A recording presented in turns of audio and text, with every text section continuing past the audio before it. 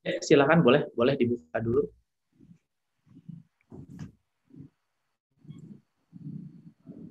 Oke. Oke, Bismillahirrahmanirrahim. Assalamualaikum warahmatullahi wabarakatuh. Uh, selamat pagi, teman-teman mahasiswa dan uh, beberapa sepertinya nih bergabung dari S2 dan S3 pasca sarjana. Kemudian Ibu Ami yang sedang dinas ya, Bu Ami, terima kasih sudah bergabung bersama kami. Salam kenal juga Bapak Dery Agustin. Uh, pada hari ini kita akan uh, menjalani program keris dengan uh, dengan tema linking teori to research methodology yang akan dibawakan oleh Bapak Dery Tria Agustin Beliau adalah staf pengajar atau dosen dari IAIN Syekh Nurjati Cirebon.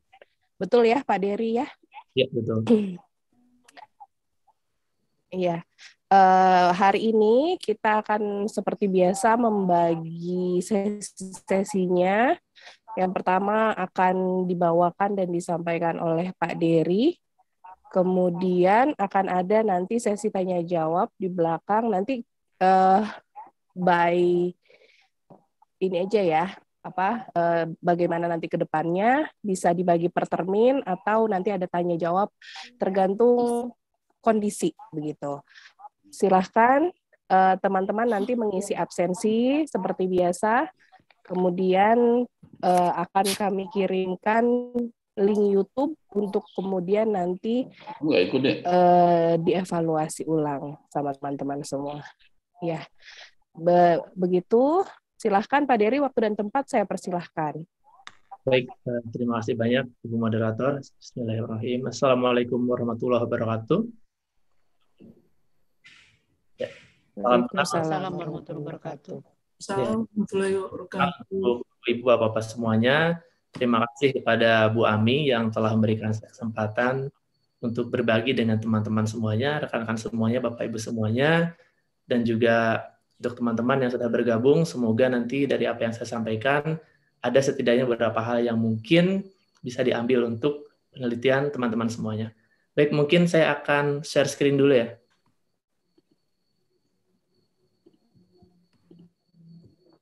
Apakah sudah terlihat layar saya? Sudah, Pak. Sudah, Pak. Sudah ya? Sudah. Sudah. Okay. Slideshow mode ya. Hmm. Okay. Eh, sorry, sorry, sorry. Sorry, tadi malah salah saya kayaknya. Um, Oke. Okay. Ya, sudah jelas ya? Sudah lebih besar? Sudah, Pak. Sudah, Pak Dery. Sudah. sudah. Baik, kalau begitu. Seperti yang sudah disampaikan oleh Bu Ami bahwa hari ini kita akan membahas tentang bagaimana menghubungkan atau linking theory to methodology. Tapi sebenarnya saya sudah sedikit mengubah topiknya karena saya pikir ah tanggung gitu kalau sekedar menghubungkan teori dengan methodology. Kan seharusnya teori itu bukan hanya info methodology tapi juga benar-benar uh, inform research in general dari awal sampai akhir ya nanti semuanya terpengaruh gitu. Jadi akhirnya saya memutuskan untuk sudahlah berarti teori dengan risetnya saya sekalian. Dan untuk itu saya di sini akan membahas mengenai using a theory to frame a research study dan teori yang saya ambil sebagai contohnya nanti adalah sociocultural activity theory sebagai combined framework untuk melakukan cognitive developmental research.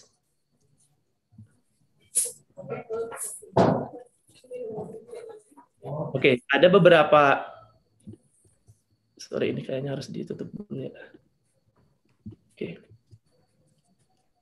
Nah, tentunya tentunya tidak akan semua hal saya bahas di sini dan di awal saya rasa saya perlu membatasi apa saja yang akan saya sampaikan karena tidak mungkin tidak mungkin ya semuanya saya bahas. Jadi pertama yang ingin saya sampaikan adalah presentasi ini lebih tentang sekian teori yang dikembangkan dari Vygotsky dari teori yang Vygotsky dan saya hanya akan fokus pada dua dua pendekatan karena sebenarnya ada banyak pendekatan yang didasarkan pada teori yang Vygotsky tapi saya hanya akan membahas sociocultural theory dan juga activity theory. Kemudian penel, uh, presentasi ini tidak bermaksud untuk menjelaskan semuanya seperti yang saya sampaikan sebelumnya dan juga presentasi ini hanya fokus mengenai bagaimana Vygotskian theory itu inform research, bukan pembelajarannya atau bukan pedagogi. Kemudian barangkali ada teman-teman juga yang sudah setidaknya sudah familiar dengan Vygotskian theory. Di sini saya tidak akan membahas inter, apa interventionist approach, tapi yang akan saya bahas adalah non interventionist approach. Jadi pendekatan yang tidak bersifat interventionist ya yang akan saya bahas di sini. Oke, selanjutnya dan untuk kontennya Pertama kita akan bahas teori itu sendiri, kemudian dua aliran di dalam Vygotskian theory, yaitu sociocultural theory dan activity theory, dan bagian ketiga nanti saya akan memberikan contoh bagaimana bagaimana sociocultural activity theory ini kita kita aplikasikan dalam sebuah penelitian gitu. Dia inform uh, apa dengan research purpose, kemudian dengan research objectives, dengan research methodology bahkan sampai dengan uh, presentasi finding dan discussion-nya seperti apa. Dan terakhir ada conclusion to today's presentation dan di akhir paling akhir ada sesi tanya jawab. Baik, uh, pertama-tama kita bahas teori dulu. Tentu saja ada sangat banyak ya definisi mengenai teori dan dan teman-teman pun pasti punya preferensi sendiri uh, dan tentu saja saya tidak mengatakan yang satu lebih baik dari yang lainnya, tidak begitu, atau misalnya yang satu benar yang satu salah, tidak juga demikian. Hanya saja untuk keperluan presentasi sekarang, saya mengambil definisi teori yang disampaikan oleh Imenda, yaitu bahwa teori itu adalah satu set dari konsep-konsep yang saling terkait satu sama lain. Dan teori itu bisa kita lihat sebagai intinya ya, intinya teori itu perlu kita lihat sebagai blueprint yang mem membantu kita dalam mendesain atau atau uh, apa membuat penelitian atau melaksanakan penelitian. Kira-kira kurang lebihnya seperti itu ya.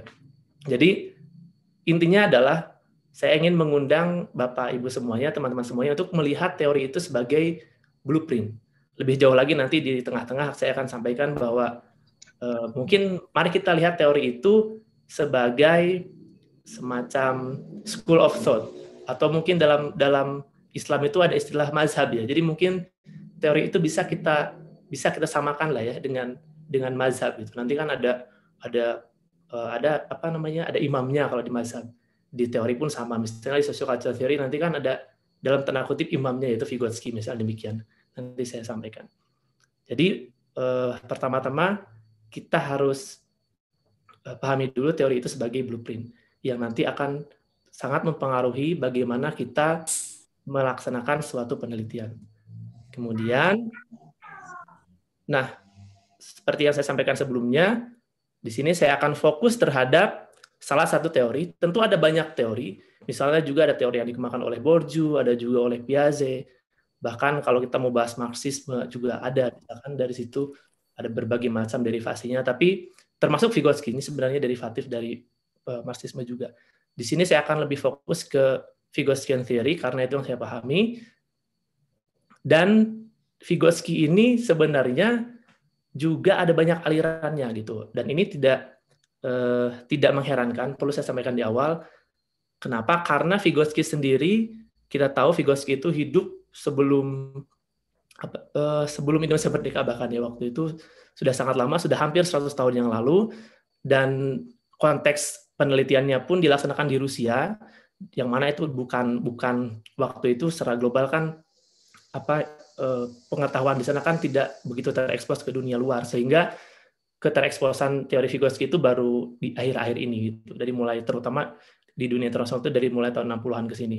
Sehingga uh, ada banyak interpreter yang yang uh, mendalami teori Vygotsky dan masing-masing kelompok interpreter itu akhirnya mereka punya pandangan sendiri, punya punya apa tafsiran sendiri terhadap teori Vygotsky. Sehingga sampai sekarang kalau kita lihat kalau kita runutkan ternyata ada banyak versi dalam tanda kutip ada banyak versinya dari mulai activity theory yang dicetuskan oleh Engstrom, ada socio-historical theory oleh Moll, ada socio-cultural theory yang yang sebagian besar ini apa eh, digunakan istilah ini digunakan oleh kelompok-kelompok di Amerika sana terutama dan termasuk di bidang saya misal pendidikan bahasa Inggris mereka pakainya aliran ini socio-cultural theory, ada socio-cognitive theory dan sebagainya bisa dibaca sampai ke bawah. Dan di sini saya akan fokus pada dua teori yang akan saya pakai, yaitu activity theory dan sociocultural theory. Mungkin perbedaannya tidak begitu signifikan ya, karena pada dasarnya masih dari masih berdasar dari dari teori yang sama dari orang yang sama itu Vygotsky. Tapi ada beberapa hal yang yang penekanan itu ternyata berbeda gitu. Oke. Kemudian oke kita bahas kita mulai masuk ke sociocultural theory dan activity theory itu sendiri. Perlu difahami dari awal bahwa sociocultural theory itu walaupun namanya sociocultural theory tapi teori ini bukan teori mengenai aspek-aspek sosial atau aspek-aspek kultural manusia gitu melainkan teori ini adalah teori mengenai perkembangan higher mental function atau higher mental function itu sebagian misal Lantov mengatakan itu adalah human mind ada juga yang lain misal ada Worst ada Daniels mereka mengatakan bisa kalau kita terjemahkan higher mental function itu sebagai cognition atau kognisi. Jadi pada dasarnya sociocultural theory ini adalah satu satu satu teori yang berfokus pada perkembangan kognisi manusia dan bagaimana hubungan sosial dan segala sesuatu yang disebut sebagai cultural artifact, artefak itu sangat sangat luas nanti ada definisinya, itu membantu manusia dalam mengembangkan kognisinya. Nantinya itu. Jadi sociocultural theory itu adalah teori yang berfokus pada pengembangan perkembangan kognisi manusia dan bagaimana proses mediasi itu terjadi dan mediasi itu membantu perkembangan kognisi manusia tersebut. Kemudian yang kedua, activity theory itu sendiri, nah dia lebih menekankan pada pada dasarnya sebenarnya sama terkait kognisi juga dan terkait mediasi juga di situ, tapi penekanannya lain. Jadi penekanannya itu adalah bahwa uh, consciousness atau masih dalam dalam consciousness ini dia mencakup cognition juga. Cognition itu berkembang hanya dalam uh, apa ya practical social activity settings itu dalam dalam uh, konteks aktivitas yang real gitu. Jadi dia tuh hanya berkembang dalam satu konteks, dalam satu aktivitas tertentu gitu. Jadi jadi ya perkembangan itu tidak terjadi di ruang hampa, tidak begitu saja. Jadi ketika ada relasi sosial dan kita terlibat dalam satu aktivitas yang nyata di situ aktivitas yang terkait sosial, historical, cultural dan historical baru dari situ kognisi kita akan berkembang. Jadi intinya sebenarnya eh, pada dasarnya sama saja, hanya saja activity theory ini lebih menekankan pada aktivitasnya. Jadi berkembangnya itu tidak dalam ruang hampa, tapi dalam suatu aktivitas seperti itu. Nah, kemudian sebenarnya dalam ranah apa saja sih sociocultural theory atau activity theory ini digunakan? Ini sudah banyak digunakan, jadi eh, itu kenapa salah satu alasannya saya memilih teori ini juga karena sudah digunakan di banyak bidang. Eh, salah satunya misal human computer interaction, developmental work research, ada juga untuk real world learning situations dan di bidang pendidikan ada banyak, ada misal early childhood education termasuk Bu Ami juga uh, bidangnya ini early childhood education dan dan um, menggunakan cultural historical theory ya. Itu istilahnya lain lagi. Tapi pada dasarnya sama-sama Vygotskian. Kemudian ICT education, English language education, Japanese language education dan sebagainya. Jadi artinya memang uh, selama yang kita teliti itu adalah penelitian terkait dengan kognisi atau perkembangan kognisi atau mungkin bagaimana kognisi itu bisa berkembang dalam satu aktivitas tertentu atau dalam kegiatan tertentu maka mungkin saja mungkin saja teori ini cocok untuk kita pakai tentunya dengan beberapa modifikasi ya nanti tidak tidak harus plek seperti apa yang saya sampaikan itu mesti begini itu tentu tentu tidak oke kemudian kita mulai masuk ke konsep-konsep uh, pokok yang ada di sociocultural theory yang pertama sociocultural theory itu apa sih sebenarnya tadi uh, subject matter-nya atau tema-tema utamanya itu konsep-konsep utamanya apa saja. Nah, menurut Words bahwa sociocultural theory ini dia mempunyai tiga tema besar. Ada tiga tema besar di situ. Yang pertama adalah adalah higher mental functions. Dan premisnya adalah social origins of higher mental functions. Jadi, atau cognition ya, kita bilang cognition aja. Jadi, yang pertama adalah bahwa kognisi itu bersifat sosial. Kognisi itu bersifat sosial. 100% sosial. Tentu ini berbeda dengan uh, psikologi tradisional yang menganggap bahwa kognisi manusia itu dipengaruhi oleh tidak hanya oleh faktor sosial, tapi kombinasi antara faktor sosial dan biologis.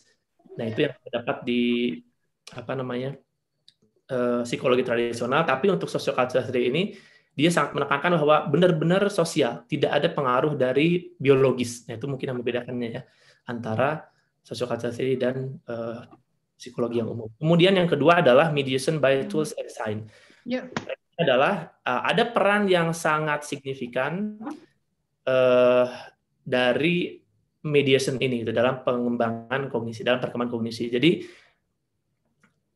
ko, apa namanya tools and science ini nanti saya jabarkannya. Ini singkatnya adalah tools ini bisa diartikan sebagai physical tools atau atau alat-alat atau barang-barang atau benda apa pun itu yang bersifat tangible yang bisa kita sentuh bersifat physical dan sains itu lebih bersifat psychological termasuk dalam misal pengetahuan keyakinan dan sebagainya termasuk bahasa segala hal yang terkait dengan eh, semiotics dan sebagainya.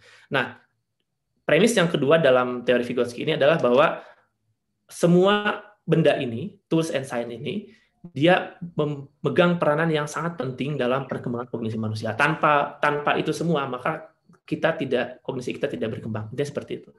Kemudian yang ketiga adalah reliance on genetic di dalam teori sociocultural theory ini bahwa perkembangan manusia itu nah ini juga yang menjadi satu distingsi antara teori ini dan yang lainnya bahwa perkembangan manusia itu hanya bisa diteliti secara historis atau secara developmental, secara secara genetik. Genetik di sini maksudnya bukan DNA tapi secara genesis. Asal mulanya seperti apa? Faktor-faktor yang membentuk kognisinya itu apa saja? Proses perkembangannya seperti apa? Jadi Vygotsky ini memang sangat menekankan terhadap prosesnya bukan produknya. Mungkin e, ibaratnya seperti ini. Ketika kita meneliti menggunakan teori ini kita akan lebih menekankan e, jika yang kita teliti adalah adalah keyakinan seorang misalnya ya kita akan lebih menekankan bagaimana seseorang itu bisa meyakini hal tersebut, bisa bisa memegang keyakinan-keyakinan tersebut, prosesnya seperti apa, daripada kita meneliti apa yang dia yakini. Nah, jadi kita tidak fokus pada apa yang dia yakini, tapi apa bagaimana dia bisa meyakini hal itu. Nah, itu fokusnya. Jadi tiga hal ya, saya ulangi lagi. Tiga hal, tiga tema utama dalam sociocultural theory. Yang pertama adalah higher mental function. Premisnya adalah social origins of higher mental functions. Kemudian mediation by tools and science dan yang ketiga adalah reliance on the genetic or developmental analysis. Kemudian, oh ini ada sedikit lagi yang mau saya bahas. Kenapa kenapa Vygotsky itu sangat sangat e, berfokus pada proses bukan pada produknya karena dia beralasan bahwa barangkali ketika kita melihat manifestasi luarnya saja, manifestasi luar dari suatu fenomena, kita akan keliru memahami fenomena tersebut. Misalnya, dia mencontohkan mengenai paus. Paus itu secara fenotipik atau secara manifestasi luarnya itu kan kita semua tahu bahwa paus lebih terlihat seperti ikan dan orang awam pun kebanyakan mengatakan bahwa paus adalah ikan dan itu tidak salah tidak salah juga gitu karena memang seperti ikan tapi kan ketika kita melakukan penelitian uh, genotype secara secara genesis Misal ketika para ahli biologi evolusioner meneliti asal muasal paus, ternyata paus itu kan kita tahu paus itu adalah mamalia gitu. Jadi dengan contoh itu misal Vygotsky beralasan sama saja gitu ketika kita melihat kognisi seorang pun ketika kita hanya menilai kognisi dari apa yang nampak di luarnya saja, mungkin kita akan keliru memahami hakikat kognisi itu gitu. Jadi kita benar-benar harus meneliti, melihat bagaimana perkembangannya, sumbernya dari mana dan perkembangannya bagaimana supaya kita tidak keliru. Katanya seperti itu. Kemudian berikutnya adalah, nah ini tadi tentang genetic methodnya. Tentang genetic method itu, nah terus bagaimana untuk kita bisa meneliti secara genesis itu, meneliti proses itu bagaimana, apa yang harus kita teliti, bagaimana prosesnya gitu. Vygotsky yang sudah di sebenarnya teori ini sudah dikembangkan oleh Coles and Engstrom jadi ada empat ada empat domain yang harus kita kita perhatikan ketika kita ingin ketika kita ingin melakukan genetic analysis. Yang pertama, kita harus memperhatikan phylotime. Phylotime di sini adalah uh, waktu waktu yang ada waktu katakanlah waktu objektif kemudian ada dan juga phylotime ini bisa kita artikan phylogenesis ya phylogenesis itu adalah evolusi manusia. Di sini karena kognisi yang kita teliti adalah kognisi, manusia sehingga phylotime ini menjadi kognisi manusia perkembangan manusia eh, evolusi manusia ya. Evolusi manusia sebagai satu spesies yaitu sebagai Homo sapiens dari mulai ada dulu sampai sekarang. Kemudian yang kedua adalah cultural historical time atau juga disebut socio-cultural domain. Socio-cultural domain ini adalah domain peradaban manusia atau perubahan atau evolusi budaya manusia dari waktu ke waktu melintasi beberapa generasi dari mulai manusia itu misal literate sampai sekarang. Itu yang disebut dengan socio-cultural domain. Kemudian ada ontogeny atau bisa juga disebut ontogenesis atau ontogenetic domain. Ini adalah domain perkembangan manusia dari perkembangan seorang individu dari awal lahir sampai sekarang. Dan yang berikutnya ada ada microgenetic domain atau microgenesis, yaitu perkembangan yang terjadi dalam satu satu event tertentu, satu kegiatan tertentu. Misalnya sekarang, ketika kita melakukan uh, meeting ini, ini kan ini eventnya terbatas, ini eventnya pendek kan. Misal mulai jam 9, selesai jam 11 Nah, ketika ada perkembangan yang terjadi, perkembangan apa pun itu dalam dalam setting ini, maka bisa kita sebut eh, perkembangan tersebut terjadi dalam microgenetic domain. Sekali lagi saya ulangi di awal ada phylogenetic domain atau phylotime itu adalah evolusi manusia sebagai satu spesies sebagai Homo sapiens dari dulu sampai sekarang. Kemudian yang kedua ada culture historical time yaitu bisa juga disebut sociocultural domain perkembangan atau perubahan atau evolusi budaya manusia atau peradaban manusia dari dulu dari mulai manusia literat sampai sekarang tentunya berarti ini lintas generasi ya lintas generasi kemudian yang kedua yang ketiga ada ontogenetic domain perkembangan manusia perkembangan seorang individu di sini seorang individu bukan kelompok manusia lagi dari lahir sampai sekarang dan yang berikutnya ada microgenetic domain atau perkembangan yang terjadi di dalam satu setting tertentu. Seperti itu. Dan untuk untuk eh, masing-masing uh, domain ini ternyata mereka menurut Vygotsky dia saling berpengaruh satu sama lain. Dan pengaruhnya itu sebenarnya bersifat dialektis. Misal misal bahwa ketika ada interaksi antara uh, culture historical domain dan atau genetic domain itu pengaruh budaya, pengaruh sosial itu akan akan sangat besar gitu membentuk kognisi seorang individu. Begitupun nanti uh, di balik itu adalah bahwa individu pun pada akhirnya setiap individu itu akan ber, ber apa namanya ber uh, memberikan kontribusi terhadap ya walaupun kontribusinya sedikit-sedikit tapi kan secara akumulatif nanti memberikan kontribusi terhadap terhadap uh, civilization terhadap peradaban. Kemudian interaksi antara ontogeny dan microgenesis. Dari mulai kita lahir sampai sekarang itu tentu saja banyak pengalaman yang kita yang kita dapatkan dan tentu saja pengalaman misal misal pengalaman saya yang saya dapatkan sebelum hari ini sebelum berbicara dengan rekan-rekan semuanya saya bawa ke ke acara ini gitu saya bawa ke microgenetic domain ini gitu dan nanti pada akhirnya pada akhirnya eh, apa yang saya dapatkan dari sini misal eh, tentu tidak hanya tentu di sini pun nanti saya akan banyak belajar dari teman-teman juga dan apa yang saya dapatkan dari teman-teman mungkin saja nanti juga itu akan menjadi akan menjadi akan terakumulasi menjadi uh, history saya gitu menjadi individual history saya menjadi ontogenetic domain yang nantinya mungkin akan saya bawa juga di di pertemuan lain gitu. Jadi di situlah ada ada hubungan dialektisnya gitu antara domain-domain ini. Nah, eh, kemudian berikutnya adalah, nah yang tadi itu sociocultural theory ya. Berikutnya adalah activity theory. Activity theory yang saya gunakan di sini adalah generasi kedua. Tentu saja generasi ketiga sudah ada, sudah lama ada bahkan dari tahun 2002, 2001 sorry tapi saya sengaja tidak menggunakan itu karena tujuan penelitiannya memang tidak cocok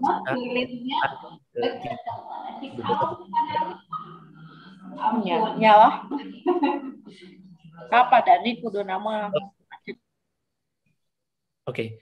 oh sorry maaf oke okay, saya lanjutkan ya um, kemudian yang tadi itu, oke, okay, yang pertama kenapa menggunakan yang kedua? Oh, enggak. Kenapa menggunakan activity theory? Ya, saya harus jawab itu dulu. Kenapa menggunakan activity theory? Kenapa enggak sociocultural theory aja gitu? Kenapa juga harus menggunakan activity theory? Karena pada dasarnya sebenarnya ternyata beberapa dari beberapa aliran yang saya sampaikan sebelumnya dari ini misalnya nah ini ada beberapa yang sebenarnya kompatibel untuk digabungkan. Ada yang tidak juga tentunya. Tapi uh, saya dan supervisor saya waktu itu kami melihat bahwa ada dua yang bisa digabungkan, terutama sociocultural theory dan activity theory gitu. Dan dia akan bersifat komplementer. Komplementernya adalah microgenesis ini proses yang terjadi di setting yang pendek ini, misal di setiap moment to moment time ini itu bisa kita teliti ternyata menggunakan activity theory. Jadi intinya kenapa saya menggunakan activity theory karena saya ingin ngezoom apa yang terjadi di microgenetic domain di situ ya. Nanti nanti ada contohnya di di case tadi yang akan saya bahas sebelum ke situ, sebelum ke situ eh, kita bahas inti teorinya dulu ya, konsepnya dulu. Jadi activity theory ini saya gunakan karena saya ingin ngezoom apa yang terjadi di microgenetic domain. Kemudian kenapa generasi kedua? Karena lebih cocok dengan tujuan penelitian saya gitu. Yang sifatnya bukan interventionist tapi non interventionist. Uh, ya tentu saja, tentu saja ketika kita datang ke suatu tempat untuk meneliti, katakanlah misal ketika saya ingin melakukan observasi, tentu saja dengan datangnya saya ke tempat itu ada beberapa hal yang berubah gitu. Mungkin gurunya eh, ketika saya meneliti praktek mengajar guru, mungkin gurunya mengajarnya berubah gitu kan. Mungkin memang iya, tetapi kan tapi perubahannya itu lebih bersifat natural itu dan itu eh, menurut beberapa penelitian itu sementara. Bukan perubahannya itu bukan karena saya ingin bukan karena saya yang ingin mengubah itu gitu. Jadi jadi kenapa saya mengatakan ini non interventionist karena walaupun ada perubahan tapi sifatnya itu reaksi aja, reaksi sementara dari mereka bukan karena saya ingin mengubah misal prakteknya nggak benar nih bu, misal nggak gitu kan, misal itu nggak benar pak harusnya begini kan nggak begitu. Jadi bagaimanapun saya menganggap penelitian saya itu non interventionist, oleh karenanya uh, yang second generation ini lebih cocok untuk digunakan. Dan ada tiga prinsip yang perlu kita pegang jika kita ingin menggunakan second generation activity theory ini. Yang pertama adalah bahwa activity system ini, nah di sini ada activity system, oke sebelum bahas ke prinsip saya bahas ini dulu, bahwa menurut activity theory, apa yang kita lakukan itu ternyata terdiri dari beberapa, beberapa elemen. So what we do is comprised of several elements, like you know ada subject, ada tools and science-nya, apa, kemudian ada objeknya, setiap aktivitas itu pasti ada objeknya, kemudian ada division of labor, ada community di situ, dan ada rules, ada aturan-aturan yang terlibat di situ gitu ada aturannya gitu. Jadi eh, beberapa elemen ini, beberapa elemen ini tidak bisa dipisahkan. Mereka sangat terkait satu sama lain dan tidak bisa dipisahkan karena ketika dipisahkan menurut Vygotsky dan Engstrom itu nanti esensinya itu menjadi menjadi beda, menjadi berubah. Eh, aktivitas ini yang terdiri dari enam elemen ini adalah satu kesatuan yang tidak boleh dipisahkan. Misal seperti ini, oh, untuk memberikan gambaran bahwa ibaratnya um, ibaratnya air itu ya air gitu. Air itu air itu ya tidak bisa unsur-unsur uh, yang unsur-unsur yang membentuk air dan karakteristik air itu kalau kita ingin meneliti air ya yang harus diteliti itu adalah airnya airnya saja tuh jangan kita meneliti unsur-unsur yang lainnya lagi. Misalnya uh, misalnya kita tahu bahwa air itu terdiri dari oksigen dan hidrogen itu. Dan misal kalau kita ingin meneliti air kita nggak perlu sejauh uh, lebih jauh lagi meneliti karakteristik hidrogen dan oksigennya itu sendiri itu. Misalnya gini, untuk mengetahui kenapa air bisa kenapa air bisa uh, memadamkan api misalnya. Tentu saja ketika kita meneliti oh, hidrogen oksigen nanti kita malah makin bingung gitu karena faktanya hidrogen itu malah dia uh, sustain ini ya combustion. Jadi ketika ada pembakaran dikasih hidrogen malah bukannya mati malah malah tetap nyala gitu oksigen pun sama gitu ketika ada pembakaran ketika ada api dikasih oksigen bukannya mati malah nyala gitu jadi oksigen itu nyalain api oh, apa hidrogen juga nyalain api kenapa tapi kenapa gabungan antara oksigen dan hidrogen kok malah menjadi air yang mematikan api gitu. nah itu kenapa kalau kita ingin meneliti air ya teliti airnya saja jangan teliti sama ternyata katanya ketika kita ingin meneliti aktivitas itu eh, ketika kita ingin meneliti aktivitas ya kita harus meneliti aktivitas ini pada secara keseluruhannya keseluruhannya. Jadi semua hal ini harus jadi satu kesatuan. Kita jangan teliti subjeknya saja, jangan teliti toolsnya saja, jangan teliti objeknya saja, atau jangan teliti rulesnya saja, karena nanti karena nanti malah mungkin hasilnya akan berbeda, malah aneh gitu. Jadi anggaplah aktivitas ini sebagai air yang menjadi satu kesat yang adalah satu kesatuan dari oksigen dan hidrogen. Aktivitas ini adalah suatu sistem yang uh, merupakan satu kesatuan di beberapa elemen yang tidak bisa dipisahkan. Karena jika elemen-elemen tersebut dipisahkan, maka karakteristiknya akan berbeda, akan tidak make sense lagi, kata seperti itu. Nah, ada beberapa prinsip yang harus kita perhatikan, ada tiga setidaknya, yaitu yang pertama adalah activity system ini harus kita uh, perlakukan sebagai unit of analysis. Yang tadi jadi ya, yang unit of analysisnya itu minimum unit of analysisnya itu ya ini gitu. Kalau kita mau meneliti yang harus meneliti semuanya, kita tidak bisa memahami gurunya saja tanpa memahami objeknya. Jadi memahami guru itu ya harus memahami semuanya juga gitu. Kemudian historicity, yang kedua historicity. Historicity itu berarti ini terkait dengan genetic method tadi, bahwa aktivitas ini hanya bisa kita pahami jika kita melihat historinya atau misal genesisnya. Bagaimana aktivitas ini ber, berubah atau misal evolve dari waktu ke waktu. Seperti itu. Kemudian yang ketiga dan ini sangat penting adalah ada yang namanya contradiction, inner contradiction as catalyst for change and development. Contradiction yang dimaksud oleh Engstrom di sini bukanlah konflik, bukan juga e, masalah, bukan konflik, bukan juga masalah, tapi yang dimaksud itu adalah adanya tensi atau tension, lebih tepatnya sebenarnya e, historically accumulating tensions between and among activity system. Jadi contradiction yang dimaksud di sini adalah tensi yang terjadi antar elemen. Tensi yang terjadi antara elemen yang ada dalam suatu aktivitas. Dan biasanya tensi itu mungkin dia akan akan eh, selanjutnya bisa mengarah pada perkembangan. Pada perkembangannya. Atau perubahan. Karena nanti ketika ada tensi itu akan terjadi disturbance dan disturbance itu akan mematik respon. Dan respon itu mungkin saja akan akan mengarah pada perkembangan selanjutnya seperti itu. Nah, itu itu inti dari uh, sekilas ya sekilas dari activity sorry dari sociocultural theory dan activity theory. Uh, kenapa saya bahas itu? Karena biar ada supaya ada gambaran ketika saya membahas uh, contoh yang akan saya sampaikan berikutnya ya. Jadi itu tadi mengenai sociocultural theory dan activity theory. Kemudian berikutnya kemudian bagaimana bagaimana kita mengaplikasikan teori tersebut dalam penelitian nah untuk contohnya saya menggunakan penelitian saya sendiri nah ini penelitian saya sendiri kemarin ketika membuat disertasi. Judulnya sudah saya ubah, tentu saja saya ubah sedikit.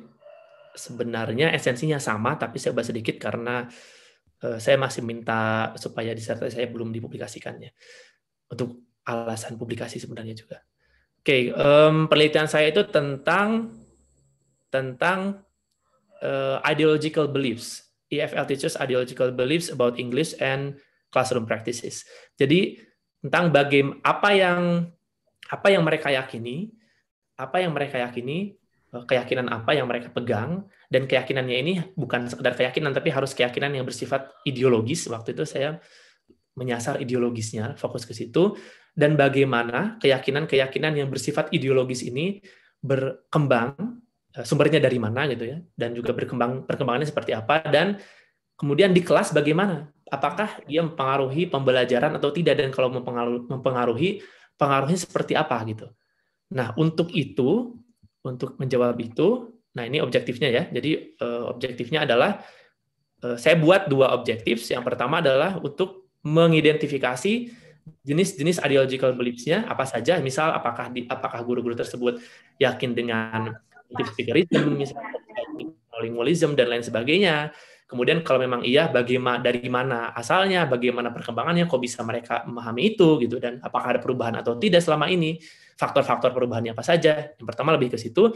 Yang kedua itu saya ingin melihat to reveal, explain, and depict if and uh, if how and to what extent the teacher's ideological beliefs about English shape their instructional practices. Jadi saya ingin melihat uh, apakah ideological beliefs-nya mereka itu mempengaruhi classroom practice-nya mereka atau tidak gitu? Dan jika iya bagaimana? Nah untuk itu saya di sini menggunakan sociocultural theory dan activity theory. Jadi seperti yang sudah saya sampaikan sebelumnya bahwa sociocultural theory itu ada tiga konsep utama tadi ya. Tiga konsep utamanya adalah uh, social origin of cognition bahwa kognisi itu bersifat sosial Kemudian yang kedua adalah mediation by artifacts dan yang ketiga adalah the genetic method. Nah, untuk mengetahui kognisi yang di uh, ini cara saya menghubungkan ya, ini cara saya menghubungkan antara teori dengan riset objektif. Jadi ini cara saya menghubungkan antara teori dan research objektif saya. Saya menggunakan sociocultural theory untuk memahami ini, memahami yang pertama, memahami objektif yang pertama. Karena tadi sudah saya sampaikan untuk melihat perkembangannya seperti apa, maka saya menggunakan SCT, sociocultural theory, karena saya rasa cocok. Eh, cocoknya yaitu tadi bahwa dia mengatakan bahwa kognisi itu bersifat sosial dan kognisi itu dimediasi dan kognisi itu harus di harus diteliti secara historis. Kemudian yang kedua, saya sudah sampaikan tadi bahwa tujuan penelitian saya itu untuk melihat pengaruh ideologi tersebut di dalam kelas dalam pembelajaran. Bagaimana pengaruhnya? Nah, untuk melihat apa yang terjadi di dalam kelas dan karena seperti yang saya sampaikan tadi bahwa di di sociocultural theory itu kan di, di genetic method itu kan ada microgenetic domain yang mana itu adalah domain uh, yang mencakup kegiatan di setting yang kecil ya, setting yang pendek seperti sekarang ini misalnya uh, ini adalah microgenetic domain. Nah, untuk melihat itu, untuk ngezoom apa yang terjadi di situ, saya menggunakan activity theory ini gitu. Jadi saya pengen melihat pembelajaran guru di kelas itu, aktivitas yang terjadi di kelas itu, saya ingin tahu misalnya ada elemen apa saja di situ, misalnya subjeknya siapa, toolsnya apa saja, objek dari pembelajarannya apa, kemudian rules-nya apa, community-nya apa saja, kemudian division of labor-nya gimana, kemudian ideologi itu misalnya apakah digunakan sebagai tools atau tidak, apakah ada tensi antara ideologi yang mungkin misalnya digunakan sebagai tools dengan apakah ada tensi dengan rules, apakah ada tensi dengan community dan sebagainya. Nah, saya saya ingin melihat itu semua gitu. Oleh karena oleh karenanya saya menggunakan activity theory dan secara umum ya begini, ini saya ya ini cara saya menghubungkan antara teori dan research objectives. Kemudian yang berikutnya adalah eh, tentu saja ketika kita sudah membuat eh, research questions, research objectives, Berikutnya adalah method. Nah ini PR-nya banyak banget memang, panjang banget dan uh, bisa dibilang cukup menantang ya. Tapi uh, seru juga sebenarnya. Dan ini cara saya menghubungkan antara teori dan beberapa komponen di metodologi. Yang pertama adalah uh, dari research approach-nya dulu dan philosophical paradigm-nya dulu. Yang saya maksud research approach di sini adalah apakah kualitatif atau kuantitatif. Memang istilahnya beragam ya. Memang kita tahu bahwa para ahli itu menggunakan istilah yang berbeda untuk merujuk hal yang sama. Tapi eh, di sini saya menggunakan istilah this approach untuk merujuk pada apakah itu kualitatif atau kuantitatif. Kemudian philosophical paradigm eh, sama juga yang saya maksud di sini adalah philosophical paradigm itu lebih ke apakah apakah itu interpretivis, misal apakah itu konstruktivis, apakah itu misal apa lagi ya, misal mod, apa namanya postmodernism dan sebagainya. Jadi itu yang saya maksud ketika saya menggunakan istilah philosophical paradigm. Nah, kenapa saya menggunakan dan yang pertama yang ingin saya sampaikan adalah di sini saya menggunakan qualitative approach.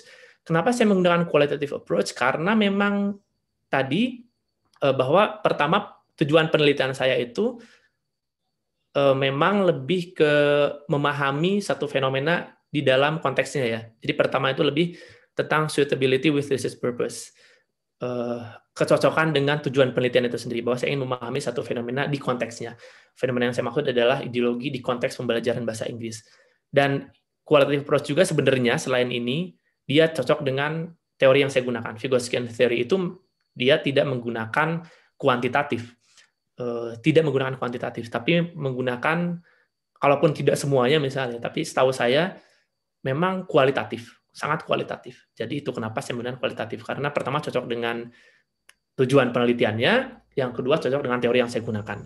Yang kedua mengenai philosophical paradigm, kenapa saya menggunakan constructivist perspektif dan saya menggunakan uh, definisi yang di, digunakan oleh Merriam and Tisdale karena pertama uh, pertama cocok dengan objektifnya juga. Jadi pertama-tama saya rasa oh ini cocok dengan objektif saya, objektif saya gitu. Kemudian cocok juga dengan teori yang saya gunakan. Setidaknya menurut Grossman, menurut Miriam Tisdale, dan menurut Palinskara dan Worst bahwa ada kesamaan antara constructivist paradigm dan sociocultural theory yang mana kesamaannya adalah sama-sama menekankan social nature of knowledge construction bahwa pembentukan uh, apa bahwa knowledge construction itu apa ya? Bahwa pembentukan ilmu pengetahuan itu bagaimana kita mendapatkan ilmu pengetahuan itu itu prosesnya prosesnya itu adalah proses sosial. Nah, setidaknya social cultural theory dan konstruktivisme itu sama dalam hal itu. Jadi, itu kenapa saya menggunakan konstruktivis eh, perspektif. Dan itu bagaimana uh, saya linking theory dengan research approach dan research paradigm. Kemudian berikutnya adalah ini agak demanding research linking theory to methodology, framing data collection. Menggunakan genetic domain tadi berarti berpengaruh juga terhadap cara kita mengumpulkan data. Setidaknya waktu itu cara saya mengumpulkan data. Dan bagaimana saya mengumpulkan data ini, saya juga melihat beberapa peneliti sebelumnya yang menggunakan culture theory dan activity theory sebagai satu kesatuan, sebagai a combined framework, dan kurang lebih uh, seperti ini hasilnya ya kurang lebih seperti ini tabel serupa mungkin bisa diguna bisa kita lihat Hah? Bukan memang lagi nggak bisa internet data ya uh, apakah ibu ya kan apa mitra eh, apa cer ya halo hmm.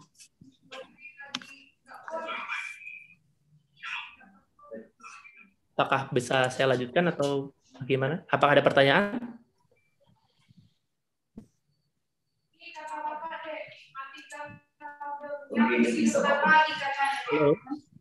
Sepertinya bocor Pak, Des, eh, Pak Dery, suara Bu Desi. Oh, jadi saya lanjutkan saja atau bagaimana?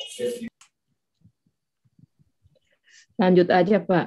Aja ya, oke. Barangkali ada pertanyaan tadi uh, saya tidak saya tidak terdengar tadi barangkali ada pertanyaan. Oke, uh, tabel yang sama mungkin bisa dilihat di beberapa peneliti lainnya seperti ada Russell Cross, ada Malba Barahona, ada Kim Dang juga dan lain sebagainya. Jadi uh, ini pun memang sudah saya modifikasi sedikit, tapi saya tetap melihat penelitian sebelumnya. Intinya yang saya ingin saya sampaikan di sini adalah ketika kita menggunakan social culture theory, khususnya ketika kita menggunakan salah satu konsepnya yaitu genetic method, maka cara mengumpul cara kita mengumpulkan data pun harus di frame menggunakan metode yang tadi itu, genetic method itu. Setidaknya dengan demikian, setidaknya ada beberapa data yang uh, gini, data yang harus kita kumpulkan itu harus mengcover beberapa genetic domain. Setidaknya ada tiga genetic domain yang harus kita cover. Yang pertama adalah cultural historic domain atau domain uh, peradaban manusia yang saya sampaikan tadi di awal, domain budaya manusia itu secara kolektif. Kemudian yang kedua adalah domain ontogenetik, perkembangan individu. Dalam hal ini misal karena saya meneliti guru di perkembangan gurunya dari awal sampai akhir. Kemudian yang ketiga adalah microgenetic domain. Microgenetic domain itu ya apa yang guru lakukan di kelas itu. Nah, setidaknya ada ada beberapa domain yang harus data yang datanya harus saya kumpulkan. Nah, jadi tugas pertamanya adalah itu eh, identify domainnya dulu, kemudian baru menentukan teknik apa atau instrumen apa yang sesuai yang bisa kita gunakan untuk mengumpulkan data yang kita perlukan. Tentu saja nanti barangkali teman-teman atau Bapak Ibu semuanya menggunakan genetic method, tentu saja uh, instrumennya tidak mesti sama dengan apa yang saya gunakan, tentu bisa lebih kreatif lagi, uh, bisa menggunakan cara yang lain asalkan memang sesuai dengan tujuan penelitiannya. Jadi ini tentu tidak perlu sama.